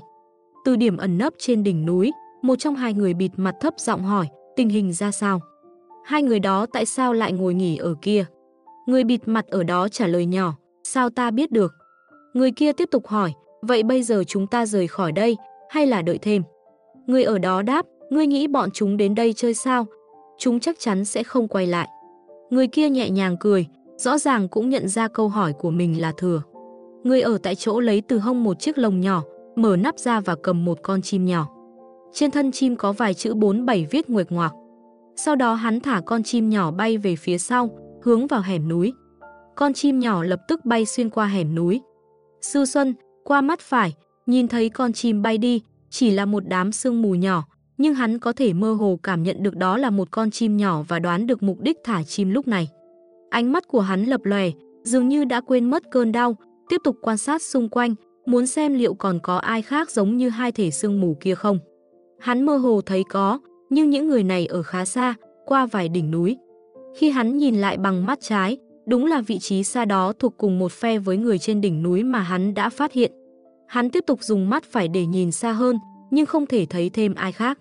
Trong lúc này, hình ảnh kỳ quái từ mắt phải cũng dần mờ đi, thị lực của hắn từ từ trở lại bình thường. Hắn nhanh chóng thi pháp kiểm tra thân thể mình và nhận ra lần này cơn đau không ảnh hưởng quá nhiều đến cơ thể. Ngô Cân Lượng nằm đó chờ, cuối cùng không thể nhịn được mà thì thầm, Xuân Thiên, rốt cuộc có chuyện gì thế? Sư Xuân nhìn về phía đỉnh núi, nơi có người đang ẩn nấp, có người đang mai phục trên đỉnh núi đó. Hả? Ngô Cân Lượng quay đầu nhìn, nhưng với ánh sáng mờ và khoảng cách xa như vậy, hắn không thể thấy gì. Mắt hắn cố gắng nhìn nhưng không tìm ra bất kỳ dấu hiệu nào. Ta giả vờ bệnh. Sư Xuân nói xong thì nằm xuống, kéo tai Ngô Cân Lượng lại gần và thì thầm một hồi. Ngô Cân Lượng thỉnh thoảng gật đầu, sau đó cởi bỏ quần áo của Sư Xuân và phủ lên người hắn. Tiếp đó, Ngô Cân Lượng cầm lấy thanh đại đao của mình làm thành một chiếc giường, đặt Sư Xuân nằm lên, rồi ôm cả người lẫn đao bước đi. Họ vượt qua nơi mà những người ẩn nấp không thể nhìn thấy. Tay của Sư Xuân nắm chặt chuôi đao bên dưới quần áo, sẵn sàng ứng phó nếu bị tấn công bất ngờ. Hắn giả vờ yếu để dụ hai người kia tấn công. Tuy nhiên, kế hoạch của họ không thành công vì hai người ẩn nấp vẫn không xuất thủ khi họ đi qua. Nhưng Sư Xuân, trong lúc nằm trong tay Ngô Cân Lượng, vẫn phát hiện rằng hai người ẩn nấp đang lén theo dõi họ. Hắn lập tức thì thầm với Ngô Cân Lượng vài câu. Ngô Cân Lượng ngay lập tức đổi hướng di chuyển, bởi họ vốn quen thuộc với địa hình Đông Cửu Nguyên, nơi mà trước đó họ đã có kế hoạch. Hai người bọn họ tiếp tục bám theo từ xa, không dám tới quá gần vì sợ sẽ bị phát hiện. Thỉnh thoảng, Ngô Cân Lượng để lại dấu vết huỳnh quang trên các tảng đá ven đường. Không lâu sau, Ngô Cân Lượng biến mất khỏi tầm mắt của những kẻ ẩn nấp, rồi chui vào một khe núi hẹp. Khi hai kẻ ẩn nấp đuổi theo, họ thấy rằng Ngô Cân Lượng đã ra khỏi hẻm núi nhưng lại dừng lại, nhìn quanh không rõ đang tìm kiếm gì. Hai người theo đuôi không dám lộ diện, liên lẩn vào miệng hẻm núi nhỏ mà trốn, âm thầm quan sát từ xa. Bỗng nhiên, một tiếng động vang lên đột ngột, khiến hai người giật mình quay đầu lại. Từ chỗ bích đá trũng, một bóng người nhào ra, đối mặt với người bịt mặt, kẻ kia vội rút kiếm ra ứng chiến. Chỉ trong thoáng chốc, hai tiếng keng keng của sắt thép va chạm vang lên. Người bịt mặt cúi nhìn ngực mình, máu trào ra từ vết nứt, hắn ngã gục xuống. Bóng người tập kích chính là Sư Xuân, sau khi dậm chân khiến mặt đất rung nhẹ, thanh đao của hắn còn vương máu tươi. Người bịt mặt còn lại chưa kịp rút kiếm thì đầu đã rơi khỏi cổ, ngã xuống một cách bất lực. Thực lực của đại đương gia đông cửu nguyên quả thật không phải chuyện đùa. Dù cơ thể của Sư Xuân vẫn còn bị ảnh hưởng bởi cơn đau trước đó, việc chảm hai người lại dễ dàng như cắt cỏ. Bên ngoài, Ngô Cân Lượng nghe thấy tiếng đánh nhau liền lập tức quay người, nhanh chóng lột y phục che lên cổ, một tay cầm đao, vung xuống làm rơi một tảng đá lớn từ trên đao xuống đất. Hắn xông về phía miệng hẻm núi nhỏ để tham chiến. Hóa ra vừa rồi, hắn vuốt ve không phải là người, mà chính là thanh đại đao của hắn, trên thân đao có thả một ít đồ vật để đánh lừa kẻ địch. Khi Ngô Cân Lượng nhảy tới, hắn không còn cơ hội để xuất thủ, bởi kẻ địch đã bị Sư Xuân tiêu diệt. Nhìn thấy hai kẻ theo đuôi đã bị giết, Ngô Cân Lượng liền nghiêng đầu ra hiệu, cái đuôi đã bị chặt, có thể yên tâm mà chạy, việc này không nên chậm trễ, mau chóng rời đi. Sư Xuân nhặt vỏ đao lên, cắm thanh đao vào bao rồi trầm giọng nói, chúng ta cần quay lại mỏ quặng. Cái gì? Ngô Cân Lượng kinh ngạc, trừng mắt nhìn hắn, xác nhận lại, quay lại mỏ quặng. Ta có nghe nhầm không? Sư Xuân đáp, hai kẻ này không chỉ nhằm vào chúng ta, mà còn hướng đến tất cả những người đã rời khỏi mỏ quặng. Ngô Cân Lượng vẫn chưa hiểu rõ, ý ngươi là gì? Sư Xuân giải thích, thân Viu Côn không đuổi giết chúng ta, thứ nhất là vì chậm một bước, không kịp đuổi theo. Thứ hai, quan trọng hơn là bên ngoài đã có nhân lực bố trí để chặn giết, nhưng mục tiêu không phải là chúng ta, bởi vì trước đó họ không biết chúng ta ở trong mỏ. Nếu biết, chúng ta đã không thể thoát khỏi khu vực đào bới. Vừa nói, Sư Xuân vừa đặt sống đao lên vai, chỉ khi hai kẻ theo đuôi bắt kịp chúng ta, ta mới nhận ra rằng chúng ta đã bỏ sót một điều quan trọng. Ngô Cân Lượng cố gắng theo kịp dòng suy nghĩ của Sư Xuân, điều gì? Sư Xuân quay lại nhìn thi thể nằm dưới đất, rồi nói, thân Viu Côn đã làm một việc không thể lộ ra ánh sáng, nhưng lại có quá nhiều người chứng kiến. Ngươi nghĩ hắn có thể mong đợi đám ô hợp đó giữ bí mật sao? Diệt khẩu. Ngô Cân Lượng thốt lên, kinh hãi, ý ngươi là hắn sẽ diệt khẩu tất cả những người đó. Sư Xuân đáp, chính vì có quá nhiều người liên quan, nên chúng ta đã không nghĩ tới điều đó. Giờ ngẫm lại, có lẽ chúng ta đã quá đơn giản, không nhìn xa được như những người đã từng trải qua nhiều biến cố bên ngoài. Ngô Cân Lượng nhìn quanh bốn phía, lúc này mới nhận ra rằng việc bố trí nhân lực bên ngoài là để chặn những kẻ trốn thoát. Tuy nhiên, hắn vẫn chưa hiểu rõ, người ta diệt khẩu thì kệ người ta, chúng ta chạy về làm gì. Chúng ta vừa thoát hiểm được, ngươi còn muốn cứu đám ô hợp đó sao? Sư Xuân đáp, thật sự đã thoát hiểm sao?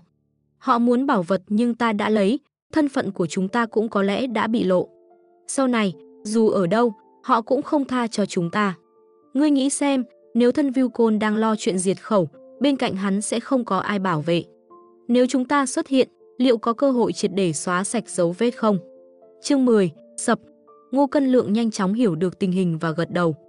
Trong mắt hắn lóe lên ánh sáng, nếu hắn đã bị phế bỏ tu vi, lại ở nơi hoang vu như thế này, dù có muốn diệt khẩu, hắn cũng không thể không giữ lại người bảo vệ bên mình. Ngươi nghĩ cũng tốt đấy, nhưng mà dù sao họ cũng sẽ không buông tha chúng ta, có cơ hội thì nhất định phải thử, một phần vạn thành công còn hơn không. Rõ ràng Ngô Cân Lượng cũng là người không sợ mạo hiểm, chỉ cần có một tia hy vọng, hắn sẽ không bỏ lỡ cơ hội. Bọn chúng đã báo tin rồi, nếu không có gì bất ngờ, rất nhanh sẽ có người tới đây. Nhanh chóng lách qua. Sư Xuân chỉ về lối ra hẻm núi, ra hiệu rời đi, rồi vội vàng chạy tới chỗ lỗ hổng để quan sát bên ngoài. Ngô Cân Lượng lột bỏ lớp y phục bên ngoài, nhét tạm vào bao đeo, ánh mắt nhìn qua thi thể trên mặt đất rồi khiêng đao. Chạy tới bên cạnh Sư Xuân và oán trách, ngươi nói ngươi, nếu đã định quay lại, sao còn phí công giết bọn hắn? Không thấy mệt sao? Bọn chúng chết tại đây sẽ chứng minh rằng chúng ta đã chạy ra ngoài.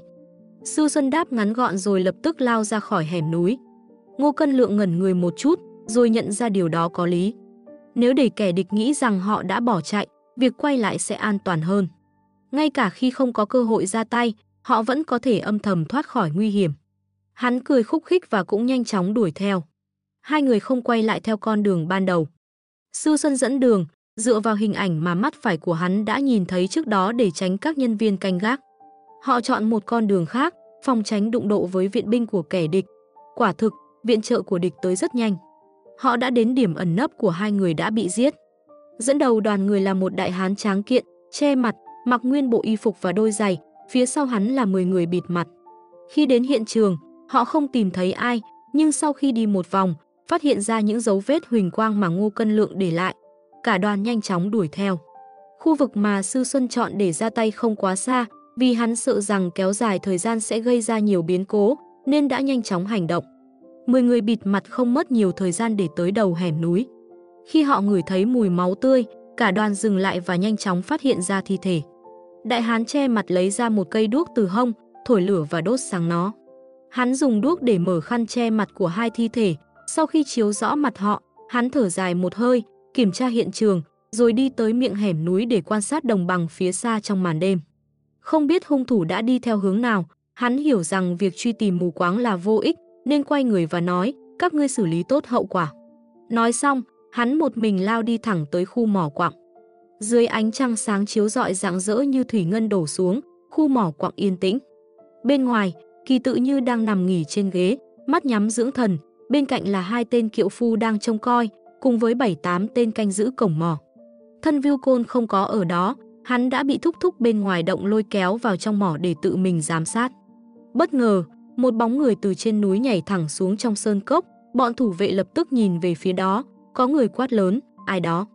Bọn thủ vệ rút vũ khí ra, kỳ tự như cũng mở mắt ra nhìn, chỉ thấy một đại hán tráng kiện, che mặt, đang không nhanh không chậm tiến tới. Hắn liền lên tiếng chấn an thuộc hạ, không sao, người nhà thôi. Đại hán che mặt không tiến lại gần, cách khoảng mấy trượng thì dừng lại, khẽ gật đầu với kỳ tự như. Kỳ tự như đứng dậy, từ chối để hai tên kiệu phu đỡ, cũng ngăn không cho hai người khác đi theo, rồi một mình tiến tới chỗ đại hán che mặt. Các thủ vệ nhìn nhau, cảm nhận được rằng lực lượng của thân Viu Côn bên này thực sự rất mạnh, đến mức còn có người của hắn canh gác thêm. Sau khi đến nơi tránh được sự nghe lén, kỳ tự như mới dừng lại, không nói lời nào mà chờ đợi. Đại hán che mặt tiến sát lại và thấp giọng báo cáo, có người từ bên ngoài chạy ra và đã giết hai người của chúng ta. Ta tưởng ngươi tới để báo tin vui. Sắc mặt kỳ tự như ngay lập tức trở nên u ám. Hắn quay lại nhìn đại hán và hỏi, ngươi thậm chí còn không giữ được thứ mà ta giao cho ngươi. Đại hán che mặt đáp, không phát huy được tác dụng, đối phương ra tay quá nhanh, nhanh đến mức bất thường. Ta đã dùng tốc độ nhanh nhất để tới hiện trường, nhưng vẫn đến muộn, không kịp thấy hung thủ là ai, hay có bao nhiêu người. Dựa vào vị trí xảy ra vụ án, nhân thủ của chúng ta vừa đến gần hung thủ đã bị phát hiện, hiện trường thậm chí không có dấu vết đánh nhau thừa thãi, điều này chứng tỏ cuộc chiến kết thúc rất nhanh. Theo cách thức hai người bị giết, có vẻ như cả hai đều do cùng một người ra tay. Một trong số họ thậm chí còn chưa kịp rút vũ khí. Điều này cho thấy hung thủ hoặc là có thực lực vô cùng mạnh mẽ, khiến người của chúng ta không có cả cơ hội phản kháng hay trốn chạy, hoặc là đã đánh lén. Dù là trường hợp nào, tên hung thủ này đều không đơn giản. Hắn là người đã thoát ra từ đây sao? Nói xong, đại hán che mặt im lặng chờ đợi. Sắc mặt kỳ tự như trở nên khó coi, hắn tự nhiên hiểu rõ ai là người ra tay. Nhưng hắn không ngờ những bố trí tỉ mỉ bên ngoài của mình lại không chịu nổi một đòn, và tên kia lại dễ dàng thoát thân như vậy, khiến cả hắn và thân Viu Côn đều trở nên buồn cười. Lúc trước, kỳ tự như chỉ lo lắng rằng sau này có thể sẽ không ngăn được tình hình, ai ngờ lại để lọt lưới như thế này. Xem ra chuyện này chỉ có thể báo cáo cho gia tộc. Ban đầu, hắn đã nghĩ tới việc giấu giếm, nhưng sau đó nhận ra rằng còn có đại đương gia kia cũng biết chuyện. Hắn không chắc liệu việc này có bị tiết lộ hay không, vì vậy hắn quyết định từ bỏ ý định giấu giếm và sẽ báo cáo trung thực. Sau một lúc trầm tư, kỳ tự như từ từ nói, mọi chuyện ở đây nhanh chóng kết thúc, tập trung nhân thủ lại gần chỗ này để triển khai tiếp. Được, đại hán che mặt gật đầu đồng ý, sau đó quay người rời đi, nhảy vài bước lên đỉnh núi và biến mất. Ở khe núi gần đó, Sư Xuân và Ngô Cân Lượng đang ẩn nấp trong bóng tối, không dám nhúc nhích. Họ đã nhìn thấy bóng dáng đại hán che mặt rời đi. Họ vừa mới đuổi tới. Không sai, họ xuất phát sau nhưng lại không đi nhanh như đại hán che mặt kia, kẻ dám lao thẳng đến với tốc độ cao nhất. Hai người họ đã thận trọng hơn nhiều. Khi hai người lặng lẽ tới mép sơn cốc, vừa nhìn thấy tình hình ở cổng mỏ, thì kỳ tự như đã quay lại và nằm xuống ghế. Ngô Cân Lượng khẽ nói một câu tò mò, sao lại có cảm giác rằng bọn thủ vệ trên núi cũng biến mất, chẳng lẽ nhanh như vậy đã diệt khẩu rồi. Sư Xuân ra hiệu cho hắn im lặng, dù đang ở khoảng cách khá xa, nhưng cẩn thận vẫn là hơn. Sau đó là thời gian chờ đợi khó chịu. Trong lúc quan sát, Sư Xuân cũng âm thầm thi triển pháp thuật để kiểm tra cơ thể mình, cuối cùng có thời gian suy nghĩ về sự thay đổi kỳ lạ của tinh vân tím khi nó tiến vào cơ thể hắn. Sao trời dần dịch chuyển, ánh trăng cũng từ từ đi sang phía khác, thời gian đã gần tới nửa đêm. Ngô Cân Lượng đang sắp ngủ gật thì bất ngờ giật mình, dùng cùi trỏ nhẹ nhàng đụng Sư Xuân. Không cần hắn nhắc, Sư Xuân cũng đã nhìn thấy. Thân viêu côn từ trong mỏ đi ra, trên tay hắn cầm một thứ gì đó phát sáng.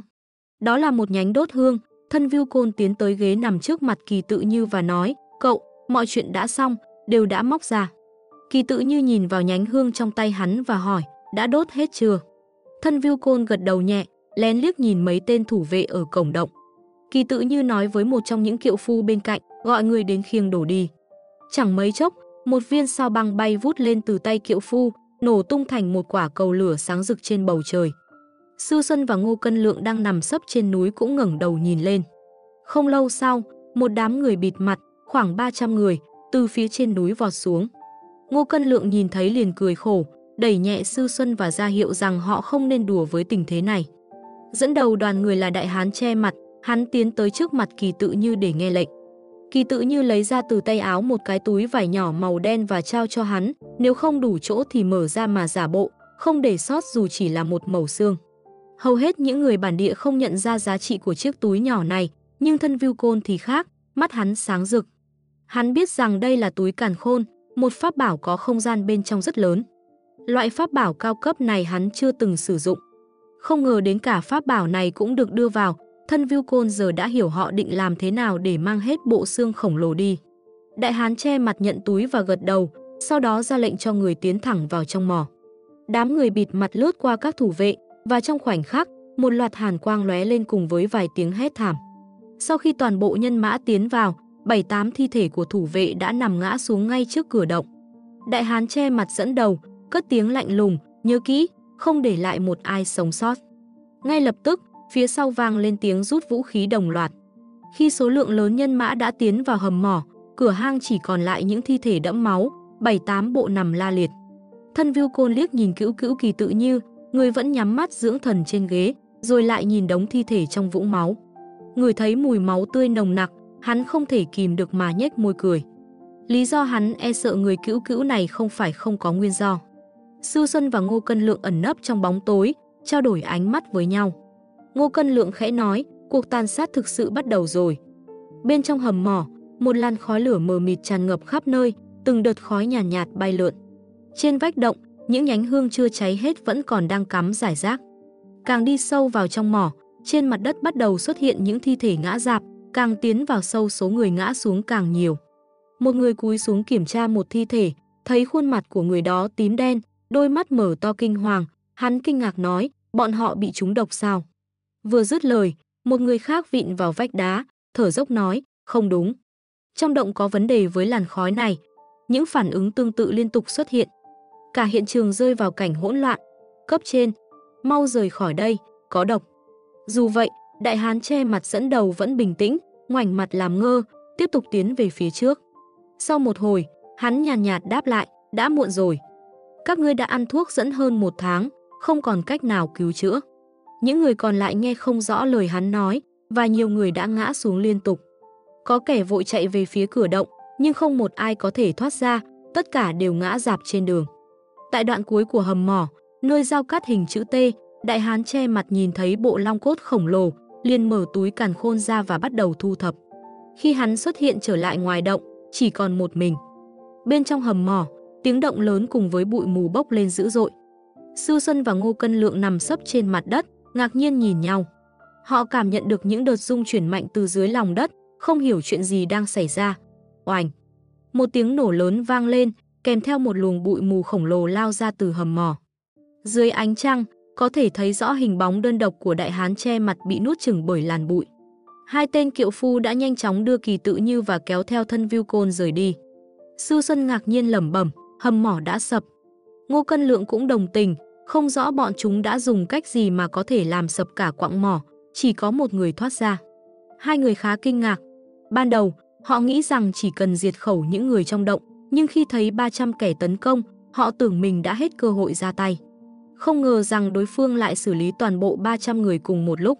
Không lâu sau, đại hán che mặt lại bước ra từ đám bụi mù, đưa túi cản khôn lên trao cho kỳ tự như. Kỳ tự như kiểm tra túi xong, Hai Long gật đầu và nói, chúng ta đi thôi. Hai tên kiệu phu nhanh chóng nâng hắn lên và quay người rời đi, đại hán che mặt thì kéo tay thân viu côn, cùng nhau bay về phía đỉnh núi. Trong bóng tối, Sư Xuân nhìn theo, trên mặt lóe lên vẻ quyết đoán. Hắn vỗ mạnh vào vai Ngô Cân Lượng và trầm giọng nói, chỉ cần xử lý ba người kia, hai kẻ còn lại chỉ là phế vật. Hai đấu ba, dám thử không? Hắc hắc, thanh đại đao của ta đã khát máu từ lâu rồi. Ngô Cân Lượng nhe răng cười, nói xong liền bật dậy, kéo theo thành đại đao và lao thẳng về phía mục tiêu. Các bạn vừa nghe xong tập 1 của bộ truyện Sơn Hải Đề Đăng của tác giả Dược Thiên Sầu tại Thư viện Sách Nói miễn phí. Chuyện đọc việt.top Mọi ý kiến góp ý xin vui lòng cho mình biết ở dưới phần bình luận video này. Và các bạn đừng quên nhấn like và đăng ký theo dõi để có thể cập nhật các nội dung mới nhất nhé. Bên cạnh đó, các bạn cũng có thể đóng góp ủng hộ kênh theo mã QR trên video hoặc số tài khoản ở phần mô tả. Xin cảm ơn.